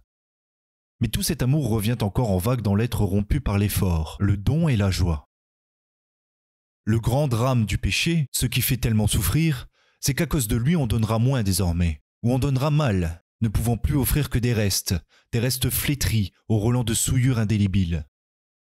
Or aimer, c'est donner, et donner, c'est tout donner. Le châtiment de la chute, c'est la douleur d'avoir piétiné son amour, d'avoir réduit les possibilités futures de bien aimer. On voudrait alors arracher son corps, ses mains, ses yeux, les forces qui palpitèrent en soi aux heures de faiblesse ou d'abjection. Trop tard, on a mal aimé. On voudrait pleurer toutes ses larmes. On aura beau faire, on ne reprendra plus ce qui fut gâché. Le jour de la chute, malgré le repentir et la rémission, restera le trou noir dans lequel des biens indicibles sombrèrent pour toujours. On pourra aimer par la suite aussi ardemment qu'on le voudra. On ne recréera pas la pureté disparue ni la plus belle part d'amour qui fut alors annihilée. Cet amour aurait pu venir en plus. Ce qu'on essaiera d'offrir à l'heure où l'amour véritable surgira portera, quoi qu'on fasse, la terrible marque. C'est pour cela qu'avoir profané son don de soi fait souffrir jusqu'à la fin de la vie le cœur qui a la nostalgie de l'absolu. On voudrait être Dieu soi-même pour reprendre ce jour aux sept ans, leur rendre la fraîcheur de l'aube et les garder contre son cœur avec crainte jusqu'à la nuit. Dès le premier accroc, nous savons que nous n'aimerons plus jamais autant que nous aurions pu le faire. Et c'est ce qui rend si déchirant, parce que sans solution humaine, le repentir. Quand on a connu cette douleur de l'irréparable, on voudrait dépasser les possibilités de son cœur, pour que quelques étoiles d'amour arrachées au maximum puissent compenser ce qui tomba dans les marais et dans les ombres. Sans doute est-ce cela que donne le baiser de l'agonie, la paix, la paix qui met fin au regret, au désespoir d'avoir mal aimé, d'avoir trop peu aimé, ou d'avoir sali et profané l'amour que nous avions pourtant rêvé d'abord de donner avec un cœur vif et un corps frais, et que nous laissâmes rouler dans la boue des abîmes. Quatrième partie La joie des hommes forts et durs. Le soleil est parti. Dans une demi-heure ce sera l'ombre. Les oiseaux le devinent, qui chantent éperdument dans les jardins. Il y a partout des roses, tellement gavées de lumière qu'elles vont mourir. Le bois, déjà, dort autour de quelques toits de tuiles. Et toujours les oiseaux recommencent à lancer leurs cris pointus et leurs implorations, sans doute pour les deux amoureux assis là-bas, rêveurs, avec un immense chapeau blanc sur leurs genoux. Qui vit encore, à part ces oiseaux, ce chien qui aboie au bout du monde et que ces deux cœurs qui battent devant le calme de ce soir, lourds de la vibration de juin? Comment croire à la haine? Les hommes n'ont donc jamais regardé les dernières roses s'éteindre dans le silence léger d'un soir. Il faudra s'arracher tout à l'heure à cette vaste mer champêtre. Il faudra reprendre au bout des sentiers la route où les voitures arrachent le sol avec un crépitement de plus tenace. Il y aura des lumières brutales, des visages vidés, des yeux sans âme. Ce paysage du soir est si net, il se livre avec un don si total. Ses roses mourantes, ses bouquets d'arbres, ses avoines aux ondoiements gris, ses sapins graves, sont si purs et si simples que toute une enfance remonte aux nos êtres, près de cette enfance éternelle des herbes, des arbres et des fleurs. On n'entend plus rien maintenant. La nuit lisse les roses. Les bois découpent leurs liserés noirs dans les lueurs mourantes. Le dernier oiseau qui chantait s'arrête lui aussi de temps en temps, comme pour écouter le silence. Les deux amoureux ont disparu, les mains tremblantes, le vent léger dans les cheveux. Je devrais bien me redresser. J'avancerai lentement, sans troubler les branchages et la vie immense qui se glisse à travers les ombres. Je devinerai le contour des choses. Je sentirai fleurir déjà au bout des herbes la rosée qui rafraîchira demain le soleil lorsqu'il aura gravi le sommet du bois. Où est-elle la nuit des cœurs d'où rejaillirait le matin sensible? Il nous faudra renouer nos mélancolies, reprendre nos pas d'hommes des champs et des bois perdus parmi les cœurs stériles. Qui comprendra tout à l'heure, dans les lueurs brutales, devant nos yeux tremblants, que nous venons de quitter les forêts et les blés, l'ombre et le silence? Mais pourquoi s'attendrir? Au bout des sentiers nous guette la vie cruelle qui happe tout, à coups de dents de loup. Ne regardons plus rien, ne pensons plus, ne respirons plus cet air chargé des parfums de mort passagère. Éteignons tout, laissons la nuit ronger les cœurs.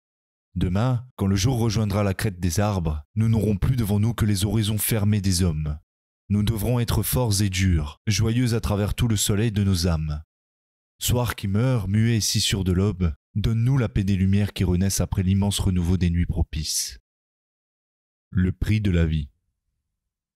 Il faut redire sans cesse le prix de la vie. Elle est l'admirable instrument mis dans nos mains pour forger nos volontés, élever nos consciences, bâtir une œuvre de raison et de cœur. La vie n'est pas une forme de tristesse, mais la joie faite chair.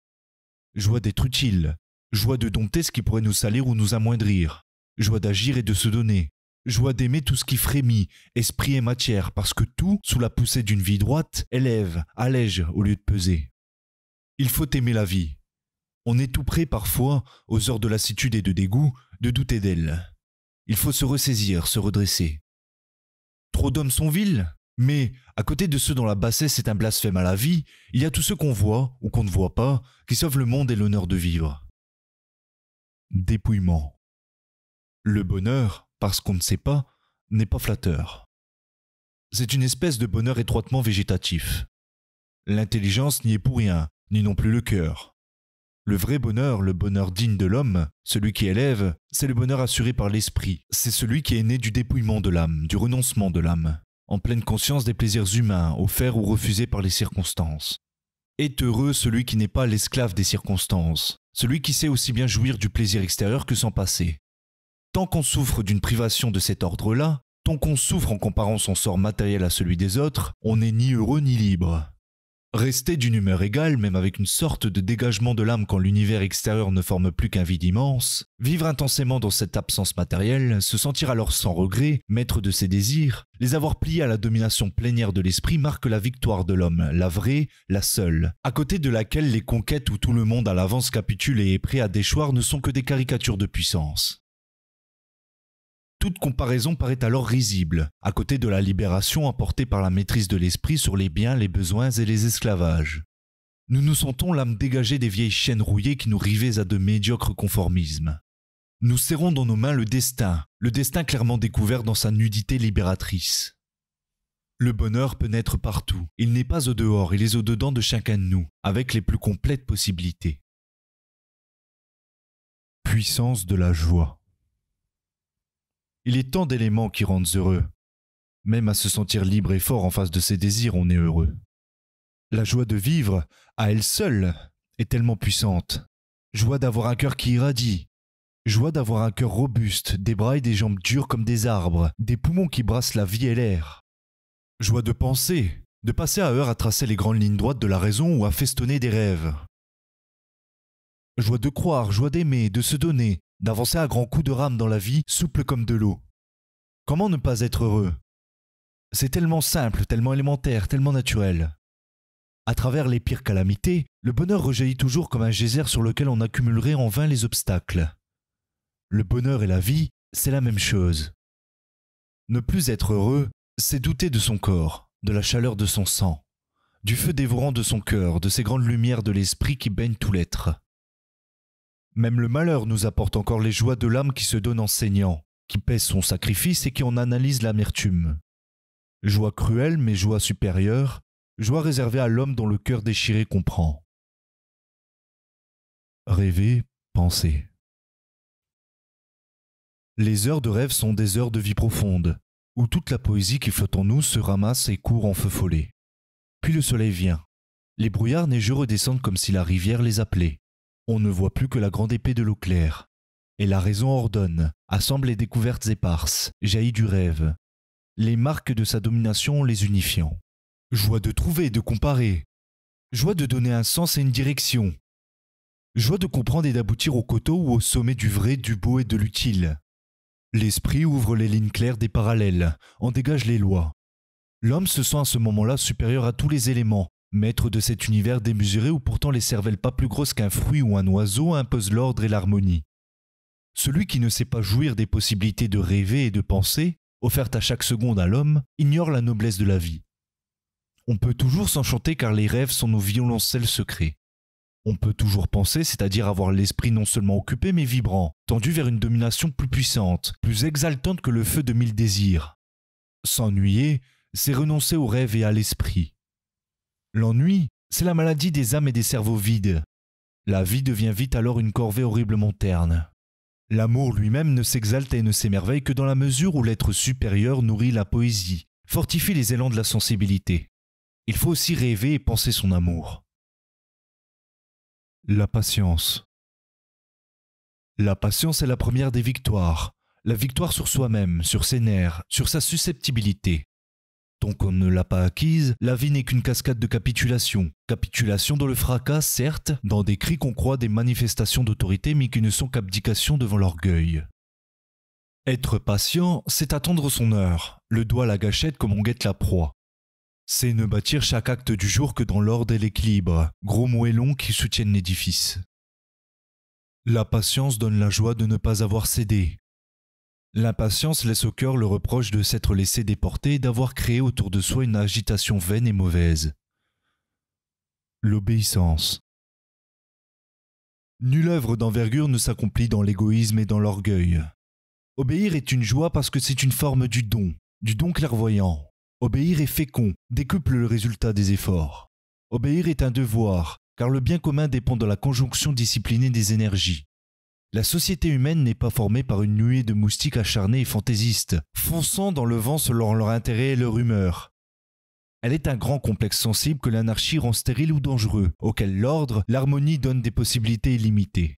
Un peuple riche, composé de millions d'individus mais égoïstement isolés, est un peuple mort. Un peuple pauvre, où chacun reconnaît intelligemment ses limites et ses obligations communautaires, obéit, travaille en équipe, est un peuple vie. L'obéissance est la forme la plus élevée de l'usage de la liberté. Elle est la manifestation constante d'autorité, l'autorité sur soi, la plus difficile de toutes. Nul n'est capable de diriger autrui s'il n'a pas été d'abord capable de se diriger personnellement, de dompter en lui le coursier orgueilleux qui eût désiré se jeter follement au vent de l'aventure. Après avoir obéi, on peut commander, non pour jouir brutalement du droit d'écraser les autres, mais parce que le commandement est une prérogative magnifique quand elle vise à discipliner des forces piaffantes, à les conduire à la plénitude du rendement, source supérieure de la joie. La bonté. Un mot parfois, un seul, un geste affectueux, un regard plein d'amitié sincère peuvent sauver un homme au bord des abîmes. Par l'affection et par l'exemple, on peut tout. Crier, tempêter conduit rarement au fond des problèmes. Il faut être bon, deviner ce qui se passe parmi le brouillard de chaque cœur, tempérer le reproche nécessaire par une boutade amicale qui rend de l'espérance, toujours se mettre dans la peau de l'autre, dans l'âme de l'autre, penser à sa réaction personnelle si on recevait l'observation, l'encouragement, au lieu de l'adresser à autrui. La plupart des hommes sont de grands enfants, assez vicieux mais restés sensibles, tendus vers l'affection. Il n'y a pas 36 routes pour les guider, il n'y en a qu'une, celle du cœur.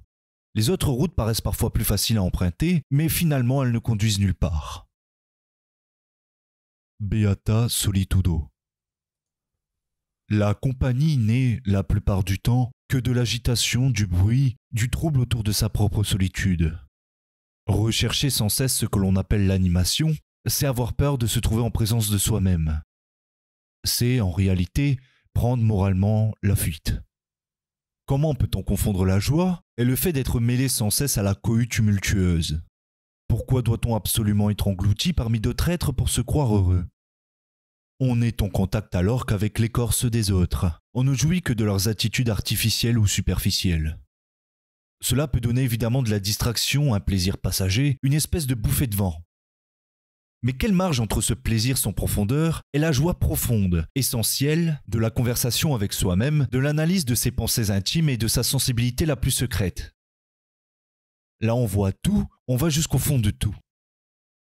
Nier la puissance, l'ampleur de cette vraie joie, c'est nier la vie intérieure. La solitude est pour l'âme une occasion magnifique de se connaître, de se surveiller et de se former. Seules les têtes vides ou les cœurs inconstants ont peur de demeurer dans le silence en face d'eux-mêmes. C'est à des moments pareils qu'on voit si les sentiments sont solides ou s'ils n'étaient que du bruit. Les hauts sentiments peuvent vivre seuls, sans présence physique. Au contraire, l'isolement les purifie et les grandit. La joie, la joie qui s'étend comme un bloc de granit sous l'eau de la vie qui coule, celle-là qui n'abandonne et ne déçoit jamais réside dans la lutte intérieure, dans l'exaltation intérieure, se surveiller, se dominer, se purifier, s'élever, avoir le courage de penser. Car elle est tellement simple d'être paresseux ou lâche devant le travail spirituel. Avoir l'énergie d'élargir ses champs secrets, aimer intensément, c'est-à-dire se donner silencieusement, sans réticence. On préfère oublier ou nier que ces joies fondamentales existent, pour se contenter de jouissances immédiates qu'on croit supérieures à tout, et après lesquelles on n'a rien, bien souvent, sinon de la poussière au cœur et des flétrissures aux ailes. Les mystiques ont connu cet effort constant de la vie intérieure. Étaient-ils moins heureux? Ont-ils eu moins de joie que nous qui jacassons? Mêlés à des visages où nous ne découvrons que des apparences, nourris de paroles qui meurent avec l'écho La joie des mystiques n'est qu'un exemple. La même joie intérieure existe aux autres stades de la spiritualité et de la sensibilité. La présence corporelle n'est même pas du tout indispensable. On peut parfaitement aimer, être possédé par les joies les plus hautes du cœur dans l'éloignement physique et même dans la mort. Tant qu'on ne sait pas une bonne fois dégager des éléments extérieurs, tant qu'on n'a pas été capable de vivre seul, c'est-à-dire dans la compagnie la plus réelle, que rien ne trouble, on n'a pas encore atteint le seuil même de la joie. Au lieu de se plaindre de la solitude, il faut la bénir. Il faut profiter de cette possibilité inespérée de s'examiner en silence et de se donner lucidement, totalement, jusque dans ses pensées les plus contradictoires. Portes fermées au monde, rupture délibérée de contact avec l'extérieur, tant mieux, car cela signifie, si on le veut, portes ouvertes sur l'âme, contact exact avec son moi, joie exaltante de la connaissance, de l'épanouissement spirituel et, mystiquement, du don le plus délicat et le plus complet. Grandeur. C'est souvent en faisant, avec un maximum de noblesse, mille petites choses harassantes qu'on est grand. Il est infiniment plus difficile de tendre son âme mille fois chaque jour à propos de servitudes sans relief que de donner une impulsion brillante à l'occasion d'un événement qui fait image. Le mérite est mince alors. L'ampleur de l'occasion passagère donne à elle-même la force d'agir, le désir d'étonner, tout en nous permettant d'avoir la plus haute opinion de nous-mêmes. On peut réussir à merveille une grande chose et être loin de la véritable grandeur. La grandeur, c'est la noblesse de l'âme s'usant, ruisselante de dons, à propos de chacun de nos devoirs, surtout lorsqu'ils sont dépouillés de tout ce qui pourrait nourrir notre vanité quotidienne. Pour la femme comme pour l'homme. La grandeur pour une femme, c'est souvent de se donner heure par heure à des devoirs sans éclat, voire même prosaïques. Pourtant, qui l'admirera? Qui connaîtra les mille combats livrés au fond de son cœur, à la paresse, à l'orgueil, aux passions chantantes, à la mollesse qui appelle l'âme et le corps vers les sables chauds de la vie facile? Celle qui malgré tout cela avance, résiste, progresse, est grande puisque le don d'elle-même a été total, sans avoir eu besoin de l'appel des mirages. Tant de gens comblés se plaignent toujours, trouvent tout désagréable, ne savent jamais se réjouir franchement de rien. Tout leur paraît ennuyeux parce qu'ils ne se donnent jamais, parce qu'ils abordent chaque instant où il faudrait tendre un peu de même avec l'intention bien arrêtée de ne livrer que l'indispensable, et encore avec des regrets. Tout est une question de don. Les gens heureux sont ceux qui se donnent. Les insatisfaits sont ceux qui étranglent leur existence par une perpétuelle rétractation, se demandant sans cesse ce qu'ils vont perdre. Vertu, grandeur, bonheur, tout tourne autour de cela, se donner. Se donner complètement, tout le temps. Faire ce qu'on doit faire bravement, avec un maximum d'application, même si l'objet du devoir est sans grandeur apparente. Où qu'on soit, en haut ou en bas, homme ou femme, le problème est exactement le même. C'est le don qui fait les âmes claires ou les âmes troubles. Cinquième partie. Le service des hommes. Note du front russe. La grande retraite. Mourir vingt ans plus tôt ou vingt ans plus tard importe peu. Ce qui importe, c'est de bien mourir. Alors seulement commence la vie. Simple soldat, je peux mourir demain. L'humilité de mon sort dans la vie du front me prépare mieux à un tel dénouement. N'ayant pas vécu en je voudrais mourir avec une âme à peu près convenable. Peut-être les semaines me sont-elles comptées, aussi faut-il multiplier les occasions de se purifier. J'avais jadis rêvé d'une longue maladie pour me préparer à la mort. Mais c'eût été dans une atmosphère de consomption. Ici, c'est dans la puissance, dans l'épanouissement de la volonté que cette préparation est offerte. Je me rends compte de ma chance. Mais peut-être reviendrai-je vivant, plus vivant que jamais. De toute façon, cette grande retraite, que la vie ou la mort clôturera, aura été d'une bénédiction. J'en jouis librement, pleinement, comme d'un soleil nourricier magnifique. Pourquoi tremblerais-je sous ces feux? Le soldat apprend à être grand parmi les choses les plus terre à terre ou les plus pénibles. L'héroïsme, c'est de tenir, de lutter, d'être toujours alerte, joyeux et fort, dans la misère sans nom et sans histoire du front, dans la boue, les excréments, les cadavres, les brouillards d'eau et de neige, les champs interminables et sans couleur, l'absence totale de joies extérieures. Nous nous éloignons un peu plus chaque jour des mondes de jadis. Ne sommes-nous pas déjà demi-morts qui avançons en serrant les dents à travers les brumes Il faut toujours regarder ce qu'ils ont moins que soi et se réjouir de ce qu'on a, sans se remplir l'esprit de chimères vacillantes. La vie est toujours belle quand on la regarde avec des yeux paisibles, lumière d'une âme en paix. Soldats, nous n'avons rien et nous sommes heureux. Il faut d'abord se dépouiller de tout le fatras des esclavages pour enfin trouver la joie qui ne fleurit que dans les âmes nues. La guerre, ce n'est pas seulement le combat, c'est surtout une longue suite parfois harassante, parfois lassante, de renoncements silencieux, de sacrifices quotidiens, sans relief. Partout la vertu se forge de la même manière.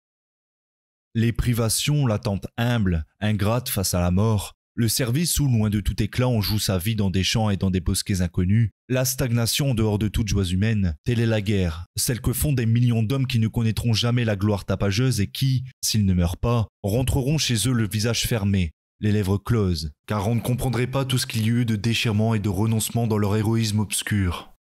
La foule n'est frappée par l'héroïsme que lorsqu'il est brillant et bruyant. Ce qui impressionne le public, c'est l'éclat, et non la pénible et lente ascension des âmes qui accèdent dans le silence et dans l'ombre à la grandeur. Mais est-on jamais compris? Entend-on, voit-on autre chose en nous que le superficiel? Le fond des cœurs est un tel abîme de désir, de reniement, de chagrin qu'on ne préfère pas l'aborder. Il est plus simple, plus agréable de s'en tenir au décor des choses et, sans trop penser, de jouir des mots et des attitudes qui tissent le paravent du drame humain. Nous sommes, nous soldats, derrière le paravent. Quelles âmes imagineront nos cheminements, auront la force de nous rejoindre spirituellement? Le zèle, l'intelligence même, ne peuvent suffire à tout. Il y a une culture, un équilibre de l'esprit, une sagesse ensoleillée de la pensée qui ne peuvent être le résultat que d'une longue discipline des facultés supérieures, mise avec application et avec une méthode en contact des œuvres les plus dépouillées de l'intelligence humaine l'étude désintéressée des civilisations anciennes, mère des idées et des systèmes, l'étude de la philosophie, l'étude des mathématiques, trame secrète de tous les arts, l'étude comparée des leçons de l'histoire, peuvent seules donner l'harmonie plénière des facultés, sans laquelle les plus éblouissantes réussites ont toujours un caractère de miracle et de fragilité. La maturité intellectuelle n'a rien d'inconciliable avec le génie, elle le rend exact et humain, et elle le canalise. Sa force n'en sort point diminuée, mais plus utile, Richelieu n'eût pas donné à la France la moitié des bienfaits de son génie s'il eût été un autodidacte. La faiblesse de notre siècle, c'est qu'il est le siècle des autodidactes. Leur œuvre a un caractère désordonné, inhumain, instable. Le vrai génie est équilibré, du moins le génie bienfaisant qui apporte du bonheur, du progrès et de l'ordre. Le génie instinctif émerveille, éblouit, mais généralement coûte cher. La nuit paraît plus sombre encore après avoir absorbé le feu d'artifice. Le banal et le vulgaire sont voisins du grandiose et de l'éternel. Tantôt j'ai regardé tuer un cochon. Il tenait à la vie le pauvre. Presque exsangue, il octait et gémissait encore. Bêtes et hommes devant la mort, nous sommes les mêmes. Il faut rudement se surveiller pour se composer un courage qui nous libère des appels de la bête aux abois, aux heures où se joue notre odeur d'homme. Soldats, nous risquons notre peau sans cesse, c'est-à-dire notre joie toute simple d'exister. La mort est en face, la mort est partout.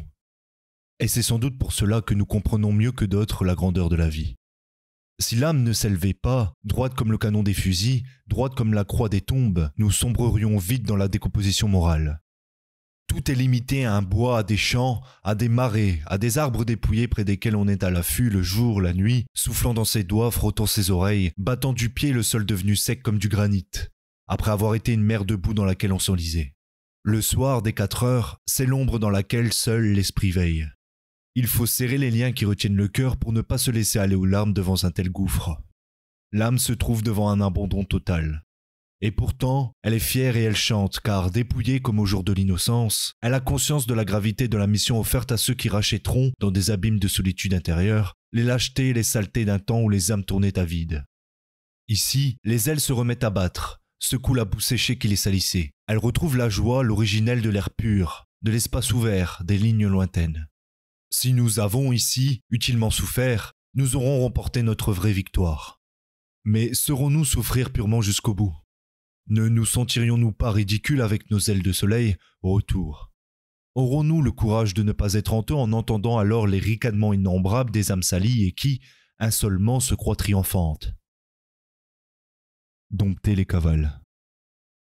Les puces ont envahi en rang serré nos uniformes terreux, des souris courotent, un rat se chauffe contre mon nez aux heures de sommeil, ces compagnonnages nous édifient fort sur la vanité de notre orgueil, nous qui ne pouvons même pas échapper aux plus petites des bêtes, les plus ridicules et les plus sales. Mais la poésie est partout. Devant nos fusils, des milliers de passereaux sautillent dans les haies en faisant gentiment danser leur ventre rond. Ils écoutent à un mètre les petits compliments que nous essayons de leur musarder. Puis ils s'installent en bande folle dans les joncs, ils crient, pépillent, sifflent, comme si le ciel d'argent jetait des poignées de joie claire sur le paysage de gel.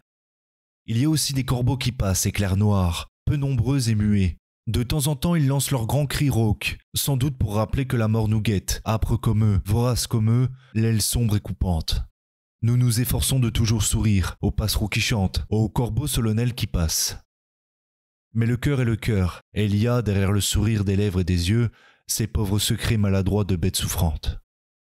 On se sent guetté de tous côtés par la mort. Chaque pas coûte, pas lourd qu'il faut rendre léger, malgré la mitrailleuse qui pèse, les pieds qui trébuchent, les récoltes pourries qui crissent, les grands trous dans lesquels on tombe sans un mot. La voilà la vie ingrate des armes, celle qui ne connaît ni griserie ni spectateur, celle où, n'importe quand, on peut être poignardé, abattu, traîné vivant chez les ennemis d'en face. Il faut calmement avancer, mètre par mètre, alors que le tir peut brusquement éclater à dix pas.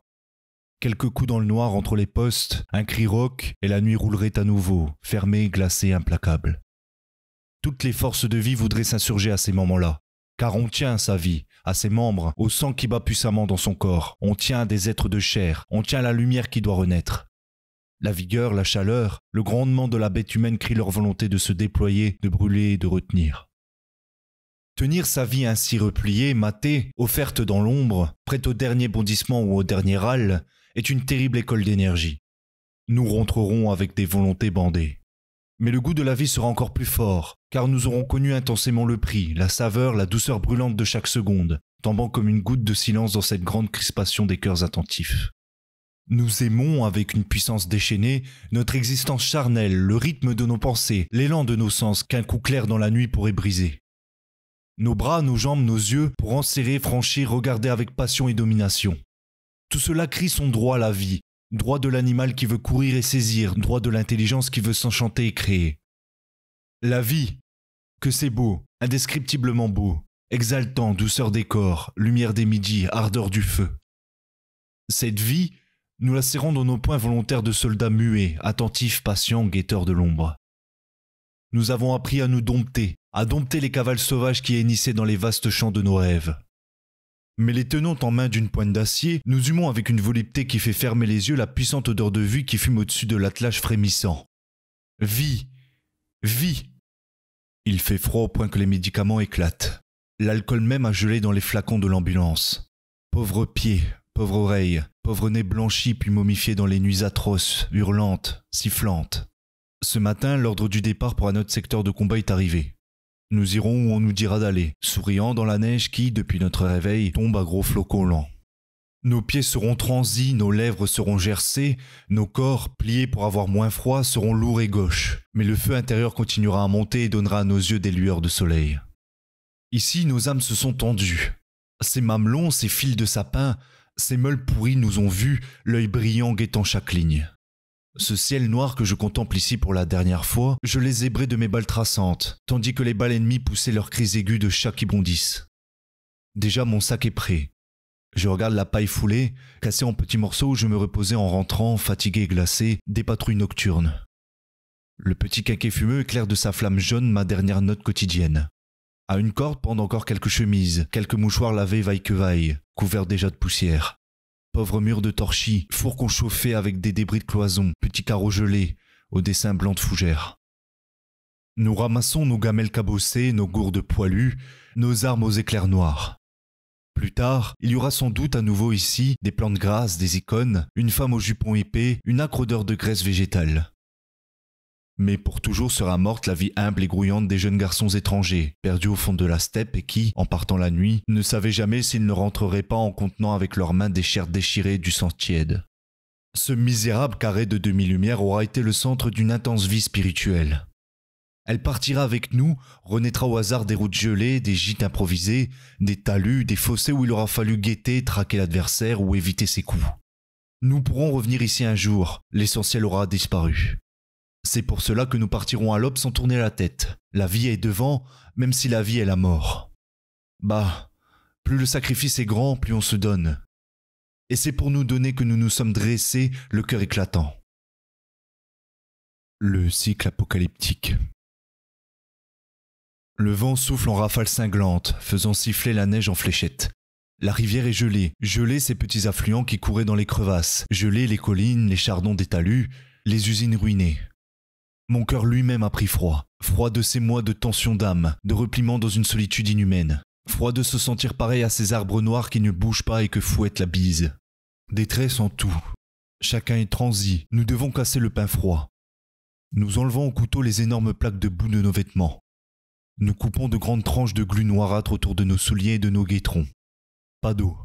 Il faut aller à trois kilomètres pour puiser un liquide brun rempli de débris d'herbe. Aimons notre misère quand même, puisqu'elle nous élève, nous prépare à des destins qui réclament des cœurs purs et forts. Le cycle des guerres est désormais apocalyptique. Les ondes s'élargissent de plus en plus, croissent en vitesse et en force pour s'étendre en un mouvement giratoire fabuleux. Les guerres sont devenues des révolutions universelles. Le monde entier est pris dans leur tourbillon, les armes s'entrechoquent, les forces économiques s'affrontent, se déchirent, les forces de l'esprit se livrent un duel sans pitié. L'univers devra saigner, lutter, connaître les affres des fuites, les agonies des séparations. Des milliers d'hommes, des millions d'hommes devront regarder avec des yeux glacés ou fièvre la mort, toujours la même, c'est-à-dire toujours cruelle, déchirant le cœur en même temps que la chair. Ce drame était inéluctable. Seuls les aveugles et les sots, c'est-à-dire presque tout le monde, croyaient qu'il s'agissait de conflits de nations rivales, conflits qui pourraient se localiser. Or, il s'agit de guerres de pseudo-religions implacables comme toutes les guerres religions, mais qui prendront des proportions quasi limitées, atteignant jusqu'à la dernière banquise de Tahitiens ou de Lapons qui auront à choisir comme tout le monde. Quand? Comment ce prodigieux règlement de compte se clôturera-t-il? Nos vies seront longtemps traversées par ces éclairs. Nos enfants grandiront parmi les lueurs aveuglantes des idées armes qui tombent ou qui triomphent. Siècles où parfois le sang se glace devant l'ampleur du drame, mais siècles pathétiques où l'univers entier se refait, plus encore par l'esprit que par le fer. Tragédie comme le monde n'ont connu jamais de si complète, dont nous sommes tous les acteurs, mais où ce sont les cœurs qui jouent. Des millions de cœurs sont en scène, naïfs encore, ou mûris et muets, ou souillés, ou désarticulés. À faire sans mètres entre les lignes boueuses, on rentre rompu, comme si on avait dû traverser un étang de colle forte. Rien à faire, rien à lire, nous n'avons qu'une misérable lampe à pétrole avec une petite flamme jaunâtre qui éclaire un mètre carré de notre abri. Il faut plus de courage pour vivre ainsi terré dans la boue que pour avancer sur l'ennemi, mitrailleuse sous le bras. En sent monter la tentation, les voix sourdes, les questions démoralisantes. Que fais-tu là? Ne vois-tu pas que tu perds ton temps? Tes efforts? Tes sacrifices? Sait-on même encore que tu existes? Ne gâche-t-on pas ton œuvre pendant que tu moisis dans l'oubli? Mais l'âme reprend vite sa sérénité. Elle sait que rien n'est plus précieux que ce renoncement, cette descente muette au fond de la conscience. La vraie victoire, la victoire sur soi-même, peut-elle mieux s'acquérir qu'au milieu de ces humiliations accueillies la tête haute, en dominant sans geste inutile, la manière hostile, l'abandon du cœur et l'ennemi sournois qui voudrait assaillir l'esprit? Lumière. La guerre, pour nous, soldats, ce sont des pauvres compagnons au visage presque vert qu'on nous fouille dans la terre gelée, mais c'est aussi c'est le plus souvent la souffrance obscure, sans falbala. C'est la boue, c'est la neige, c'est le rata grossier, ce sont les pieds déchirés par les marches sans fin. Ce sont les sans misères un peu honteuses qui entourent la vie du soldat au front, comme un brouillard poisseux et triste. Cette vie à l'étouffer réclame sans arrêt l'effort de l'énergie, le sursaut de l'âme qui doit s'arracher aux brumes pour rayonner encore. Mais cette vie n'a aucun rapport avec les idées brillantes qu'a le public au sujet des exploits guerriers. Il ne faut pas le détromper, on lui abîmerait sa belle image aux couleurs vives. Pourtant, cette vie, je l'épuise chaque jour avec une joie un peu triste mais puissante, car elle est une incomparable leçon de patience, de mortification, d'élévation. N'essayons pas de tricher avec l'épreuve ou d'étouffer sa voix. Si sa leçon devait être inutile, si nos âmes n'étaient pas en retour transfigurées par elle, il y aurait une muraille entre ceux qui ont eu peur de l'épreuve et ceux qui ont regardé bien en face les jours graves qui nous permettent aujourd'hui de nous grandir. La vie distribue en série ses crocs en jambes, je m'en étais évadé comme tant d'autres, le cœur là, inquiet et rongé. Je ne veux y rentrer qu'apaisé, ayant retrouvé l'innocence dans la confiance. C'est Noël. Je regarde la neige qui tombe inlassablement et, malgré sa légèreté, je sens que j'étouffe. Des soldats passent le dos rond, allant vite. Autour de moi, rien. Toujours le vent qui souffle, un homme qui se ronge les ongles, d'autres qui se laissent tomber, recrues de fatigue par les nuits de guet. Jésus aurait pu naître dans notre abri.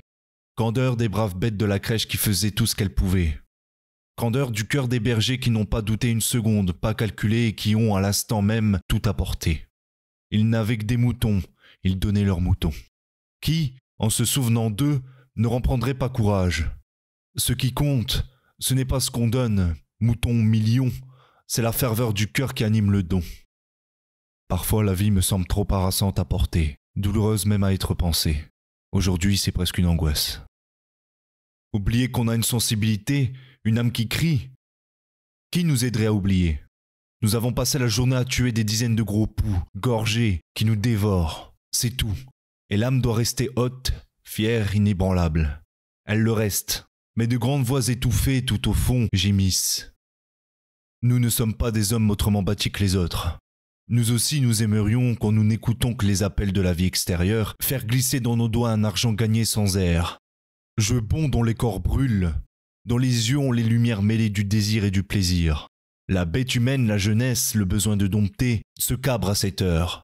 Ne gâches-tu pas tes années de vie rayonnante Guetté par la mort à chaque heure, n'as-tu pas de regret, l'envie de tout casser et de courir, de te jeter vers le plaisir, vers les visages lumineux, vers les beaux corps lisses que connaissent à ta place les garçons de ton Ce sont des moments où il faut garrotter ses passions pour nourrir son âme et sa foi aux dépens des désirs tellement humains qui brillent devant nos yeux comme un mirage. Nous montons la garde à nos parapets glacés avec un brin d'amertume au cœur, mais supérieurement heureux pourtant du sacrifice renouvelé chaque jour, sans même savoir si nous serons jamais compris. Fin d'année. Je récapitule la file des jours qui meurent. Année avec ses secrets et ses lumières. Les secrets qu'on cache derrière un sourire, mais qui saignent souvent comme des plaies jamais fermées. Et puis les lumières, il y a les lumières que les yeux des hommes ont vues. Ce sont les moins belles. C'est tel geste théâtral devant autrui, même quand on prend des airs modestes.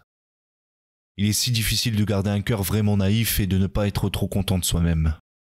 Ces lumières-là, ces lumières imparfaites sont celles dont on se souviendra au dehors. Soit. Mais ces lumières font mal aux yeux. On est aveuglé quand on les quitte. Et on est si souvent replongé des lumières crues dans les ombres de la banalité quotidienne ou des revers.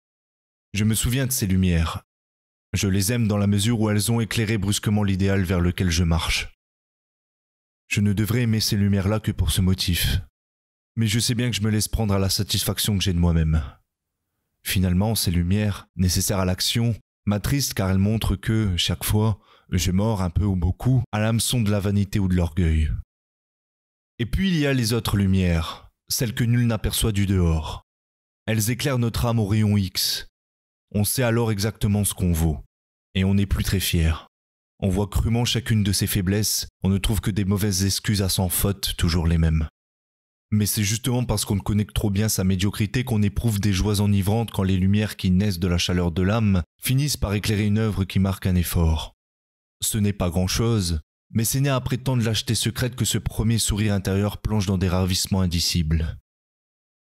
Intransigeance, qui a pensé à nous, les perdus des steppes, qui n'avions à boire pour l'an nouveau que de la neige fondue, rayée de morceaux d'herbe jaune ou un peu de café artificiel qui sont le savon Détails misérables, détails humiliants, détails dont l'évocation paraît même déplacée. Qui se représenterait ce qu'est, pour des centaines d'entre nous, par des froids pareils, la moindre servitude d'ordre physique, par exemple la misérable, l'inévitable dysenterie Aucune installation sanitaire. Il faut quinze, Vingt fois en quelques heures courir dans la neige, se couper le corps par une bise aiguisée comme une lame, cinglante comme un fouet. Vanité de nos corps dont, à certaines heures, nous étions si fiers.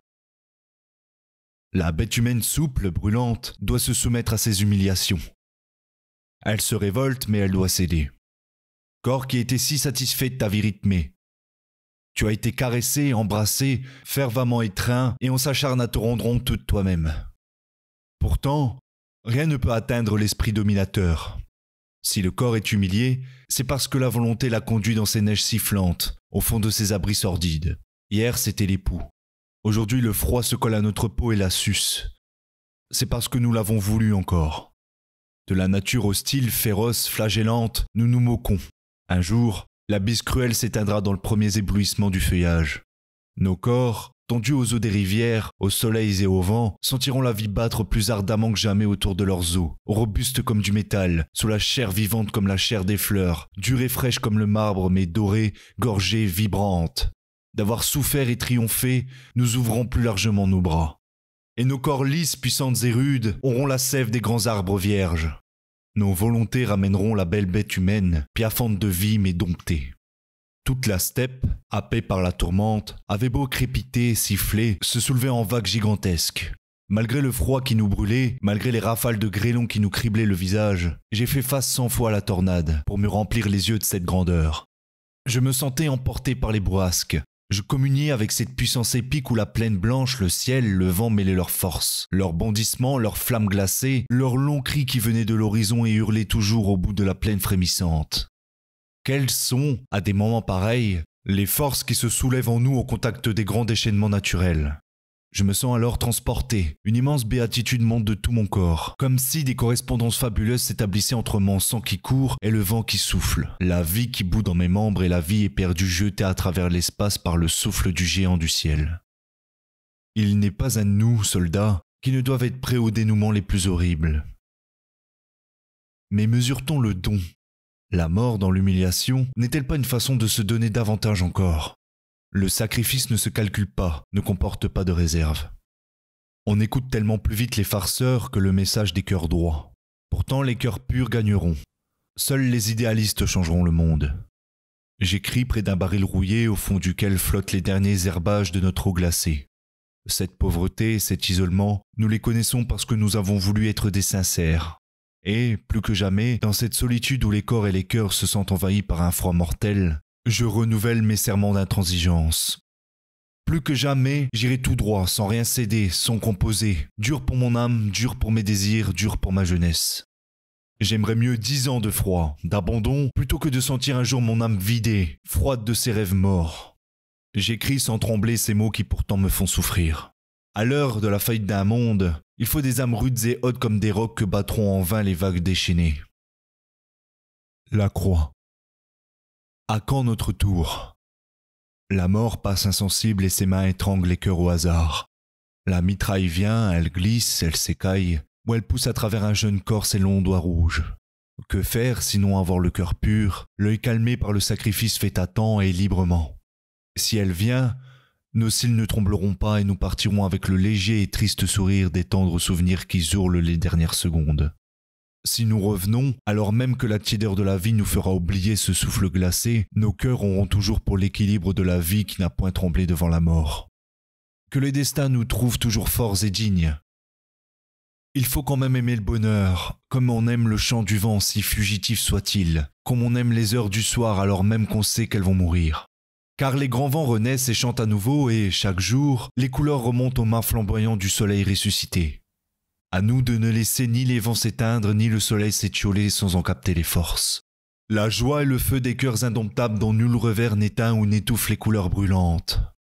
Quand tu vois la mer descendre sur les sables, retourner vers les sombres profondeurs du large, pense au grand jaillissement qui reviendra quelques heures plus tard, blanc, scintillant au soleil, audacieux et fort, comme si ces vagues étaient les premières qui venaient à l'assaut du monde.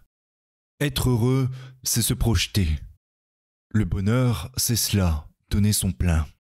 Il y a sur la terre tant de choses médiocres, basses ou laides, qu'on finirait par être un jour submergé par elles si on ne portait pas en soi le feu qui brûle le lait, le consume et nous purifie. L'art est notre salut intérieur, notre jardin secret qui sans cesse nous rafraîchit et nous embaume. Poésie, peinture, sculpture, musique, n'importe quoi. Mais s'évader du banal, s'élever au-dessus de la poussière desséchante, créer le grand au lieu de subir le petit, faire jaillir cette étincelle d'extraordinaire que chacun de nous possède et la convertir en un grandiose incendie, dévorant, inextinguible. Les siècles morts et noirs sont ceux où des âmes hésitèrent devant cet effort. Les siècles lumineux sont ceux qui ont vu ces grands feux d'âme jalonner, dominer les montagnes spirituelles. Les seules vraies joies ne sont pas celles que les autres nous donnent, mais celles que nous portons en nous, que crée notre foi, que nourrit notre dynamique. Le reste vient, part comme l'écume de mer, brillante à la pointe des vagues, frémissant encore un instant sur le bord des sables, puis mourant vite ou se retirant des flots. Tel est le bonheur que nous apportent de temps en temps les autres. La joie qui naît de notre passion de vivre et de notre volonté est pareille à la grande force qui gronde, et qui roule au fond des mers, qui jaillit à la rencontre du soleil et se renouvelle à chaque seconde. Il faut, accrocher à un bateau, regarder la mer puissante jeter ses vagues comme d'immenses peaux de léopard, s'étaler, souple et luisante, se dresser comme un feu d'argent ou comme une prodigieuse gerbe de fleurs blanches. Sans cesse, cette vie revient, rebondit. On sait que rien jusqu'à la fin du monde n'arrêtera cet élan. Ainsi doivent être notre cœur impétueux, mais semblable à cette merveilleuse force rythmée, ordonnée, scandée comme un chant éternel. Le jour, nous sommes zappés par de pauvres préoccupations, souvent banales. Mais la nuit, l'imagination tisse ses rêves, nous emporte dans ses fantaisies, ses reconstitutions, ses anticipations. Parfois je suis stupéfait par la lucidité implacable des rêves. Certes, le rêve est souvent une fusée folle, une fantasmagorie, mais il est souvent aussi pour moi une rencontre avec ma conscience et mes premières intuitions. Je m'y vois naturel, tel que je suis quand ma volonté n'est pas là pour bloquer ces quatre freins sur mes passions. Je sais alors exactement quels sont mes points douteux. Je dois à chaque fois me dire, tiens, tu faiblissais. J'ai ainsi la preuve quasi quotidienne que je ne puis résister à mille appels, conduire ma vie avec honneur que dans la mesure où un nouvel effort mate et bride, chaque jour au fond de moi-même, une cavale que les habitudes ne changent point et que seul le fouet de la volonté, manié sans cesse, peut contenir. Que celle-ci se relâche, tout se débanderait. Le rêve me le montre. La volonté s'endort, je me réveille vaincu, le rêve m'avait conduit à la dérive.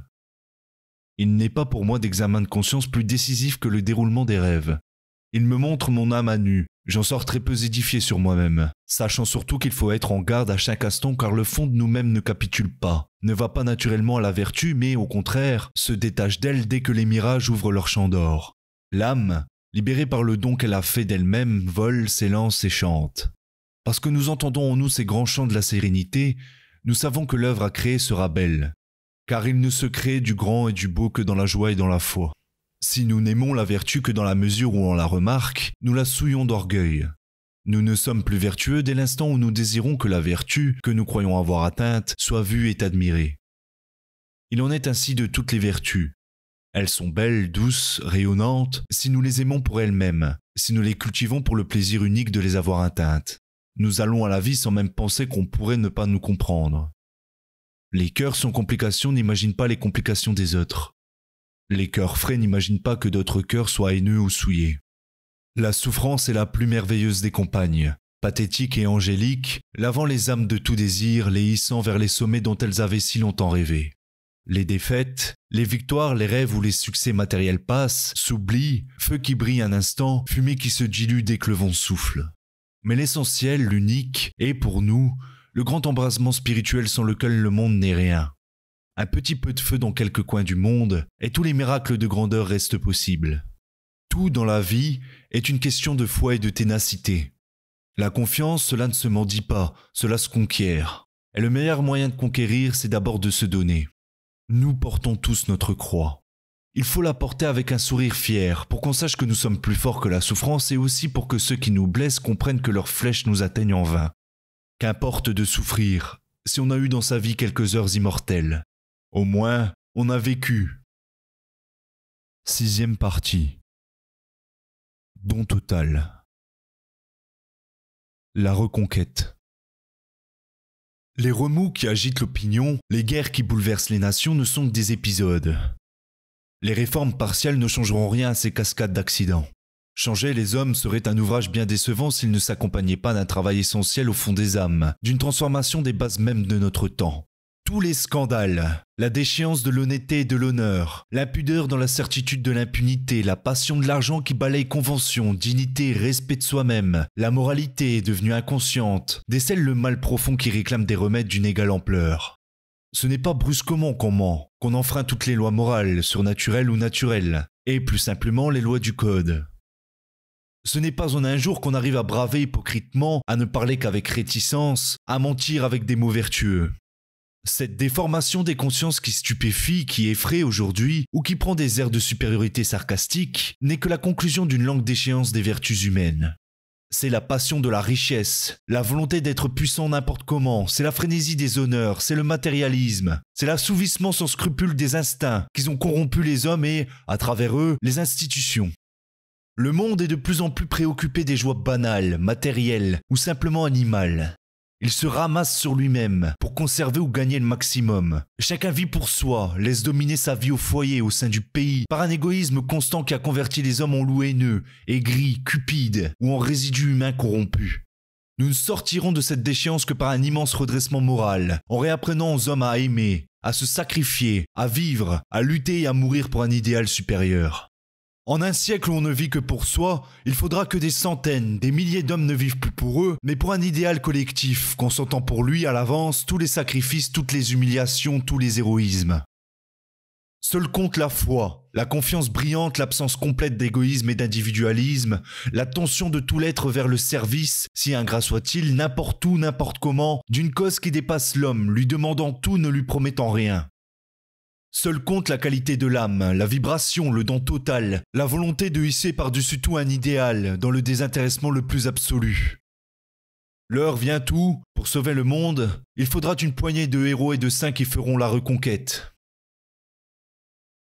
Flottille d'âme. Un pays se redresse vite après des revers financiers. Il reconstitue sans trop de peine une nouvelle ossature politique. Il se fit pour cela de techniciens habiles et d'une volonté qui lie les efforts. Quand les spécialistes ont boité les pièces, quand les moteurs ont trouvé leur cadence et que des contremaîtres sérieux les surveillent, la révolution matérielle est accomplie. La suite ne demandera plus que des réparations de temps en temps, une modification de ci, de là. La machine est montée ou révisée, elle tourne. Le gros de l'œuvre est fait. La vraie révolution est bien plus compliquée, qui remet au point non pas la machine de l'État mais la vie secrète de chaque âme. Là, il ne s'agit plus d'une révision et d'une surveillance quasiment automatique. Il s'agit des vices et des vertus, d'appels profonds et de faiblesses, de pauvres espoirs qui nous sont si chers.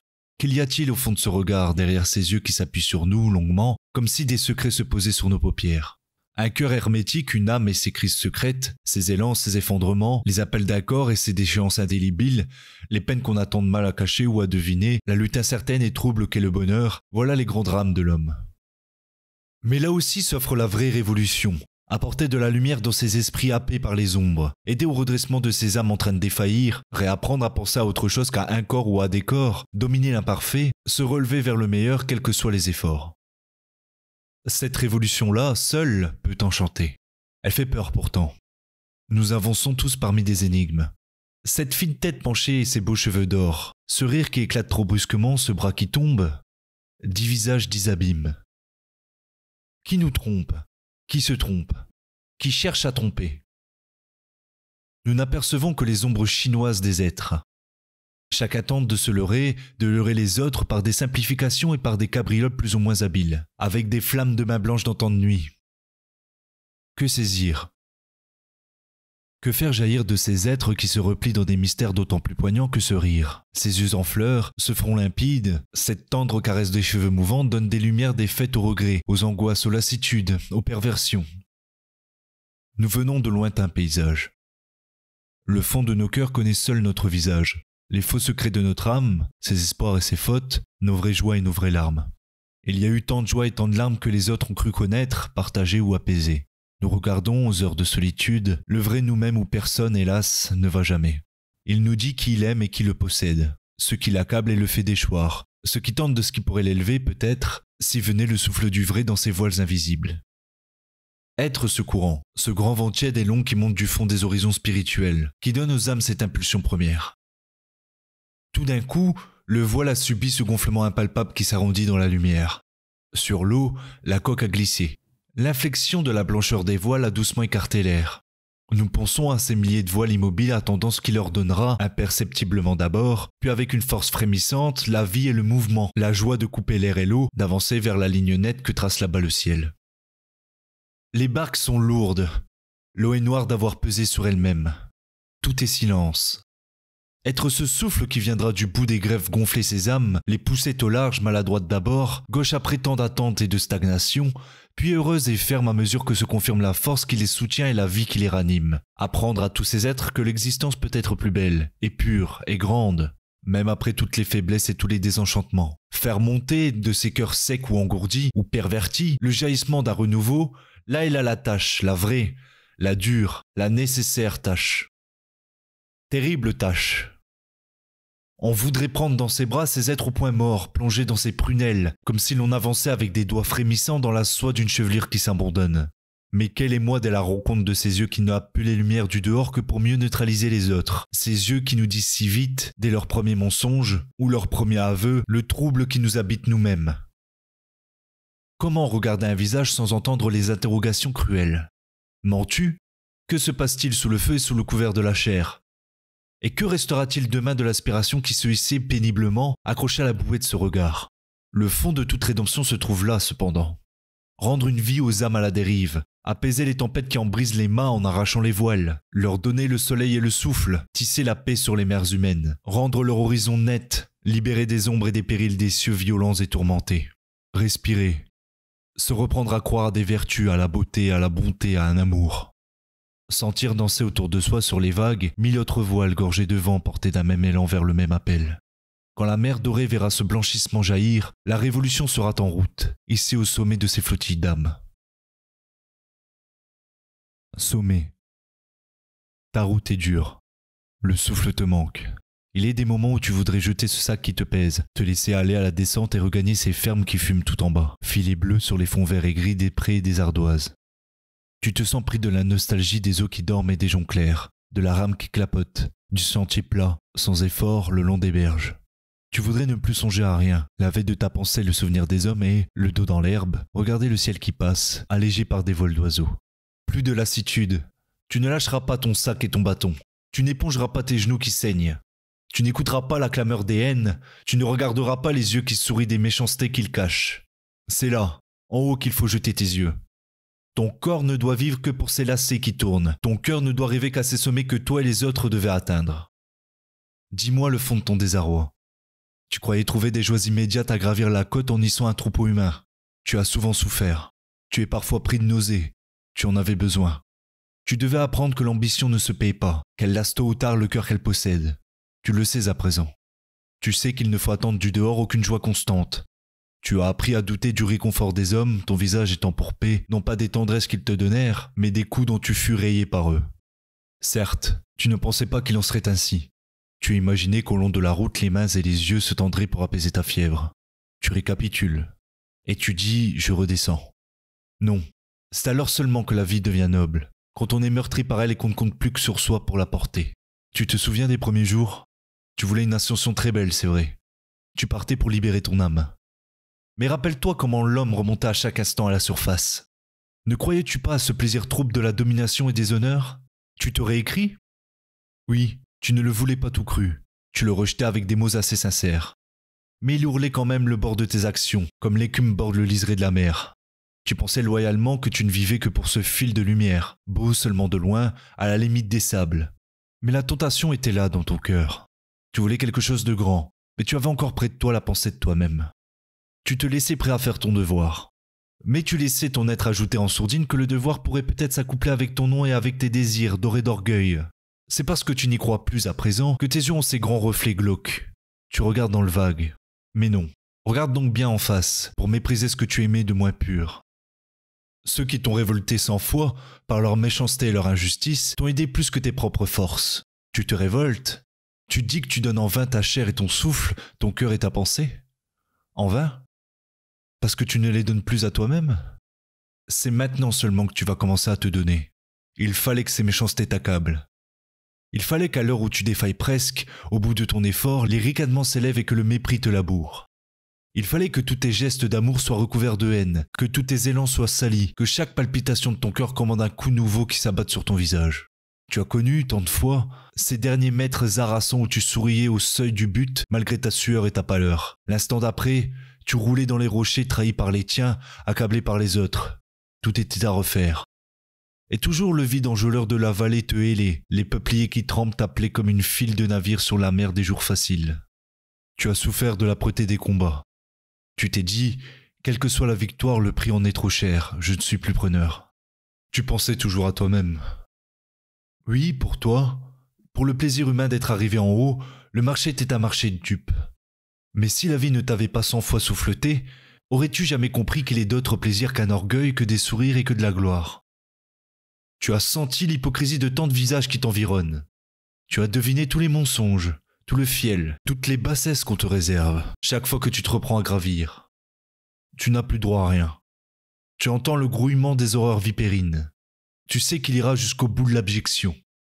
C'est à l'heure où tu auras tout donné qu'on te dira cupide. C'est à l'heure où ton cœur souffrira le plus d'abandon qu'on lui prêtera les plus viles exigences. Tu te retournes avec des larmes qui jaillissent malgré toi. Pourquoi? Tu penses encore à toi-même? Tu souffres encore de l'injustice quand il ne s'agit que de toi. Qu'il est dur de se dépouiller de l'homme. Laisse-les s'abattre sur ta vie comme des chacals, laisse-les bafouer tes rêves, laisse-les ouvrir ton cœur à tous les vents. Subis d'être jeté aux bêtes de l'envie, de la calomnie, de la bassesse. Supporte surtout. Est-ce qu'il meurtrit le plus qu'à l'instant où tu n'en peux plus Où tes genoux fléchissent Où tes yeux battent l'air à la recherche d'un regard Tes bras à la recherche d'une main ardente? Supporte alors Où tu es suspendu à un mot, à un regard Que ce mot s'abatte pour te briser, ce regard pour te faire mal. Accepte que ce soit ceux qui étaient le plus près de toi qui t'achèvent, ceux à qui tu avais tout laissé, que tu aimais si naïvement, sans réserve et sans réticence. Tes yeux ont un égarement plus pathétique qu'un cri. Ne crie pas pourtant. Attends-toi à ce que tout ce que tu as souffert hier, demain se renouvelle. Accepte à l'avance. Ne te retourne même pas en entendant ce grouillement derrière ton dos. Bénis les coups reçus. Aime ceux qui viendront. Ils te sont plus utiles que mille cœurs qui t'aiment. As-tu saisi? Tu trouveras peut-être demain, tu les trouves parfois déjà, ces tendresses qui te viennent comme une bouffée d'air pur ou comme le parfum d'un massif de fleurs champêtres. Tu es maintenant sans faiblesse devant elles. Tu n'en jouiras dignement que dans la mesure où, à force de souffrir, tu auras appris à t'en passer. Ce sont elles qui t'eussent perdu si tu ne les avais pas payées cent fois leur prix, sans même être sûr de les recevoir. Si un jour elles apparaissent, jouissant comme d'un paysage sublime aperçu en passant. Mais ce n'est pas pour elles que tu es venu. C'est l'air, c'est la lumière des sommets qui t'appelle. Tu respires mieux déjà. Tu atteindras tout doucement la vraie joie, à ces grandes neiges de la conscience brillantes, sur la souillure d'un pas. Ne pense qu'à elle, ne vois qu'elle. Essaie d'y arriver, léger et pur, ensoleillé comme tu les devines. Ce sont tes faiblesses et tes fautes sur lesquelles doivent peser tes regards, sur elle seule. Ton orgueil, ton nom, les appels vaniteux de l'homme du départ, jette-les au-delà des roches. Les as-tu entendus se briser, rebondir en quelques soubresauts? Que tout cela soit mort. Que l'amertume, l'abandon, au lieu de te révolter, te maintiennent dans le chemin. Ces chiens qui hurlent sont les gardiens du troupeau de tes pensées. Sans eux, tu t'arrêterais, tu t'écarterais. Ne te perds pas un instant. C'est loin, et tu dois arriver à la cime. Quand tu atteindras ces immensités pures, derrière toi se fera un grand silence. Tous ceux qui hurlaient à ta suite, qui te haïssaient ou t'accablaient malgré les sourires de leur visage, tous ceux-là qui, pour te frapper, te suivaient sur la route, s'apercevront brusquement qu'à ce jeu ils ont, eux aussi, un tel neige, l'air neuf, et les horizons découpés dans le ciel. Ils oublieront de te haïr. Ils auront les yeux émerveillés d'enfants. Ils découvriront l'essentiel. Leurs âmes auront été hissées à des sommets qu'ils n'auraient jamais accepté d'atteindre si ton dos qui recevait leurs coups n'avait point caché la longueur de la route. Alors tu la tiendras ta victoire. Tu pourras, ayant donné le dernier effort, tomber tout d'un coup, les bras en croix, du sommet de la montagne et rouler dans les galets vers les fonds lointains. Tu auras fini, tu auras gagné. Être achevé par le dernier effort n'aura plus aucune importance si les autres sont là, au bord des immensités virginales de la rédemption. Tu es si heureux au fond. Tu sais que seul le bonheur est là. Chante. Que ta voix tonne dans les vallons. Regrets et larmes. Alors que c'est le plus médiocre de toi-même qui a souffert et que tu viens de rejeter. Le plus dur est fait. Tiens bon. Serre les dents. Fais taire ton cœur. Ne pense qu'au sommet. Monte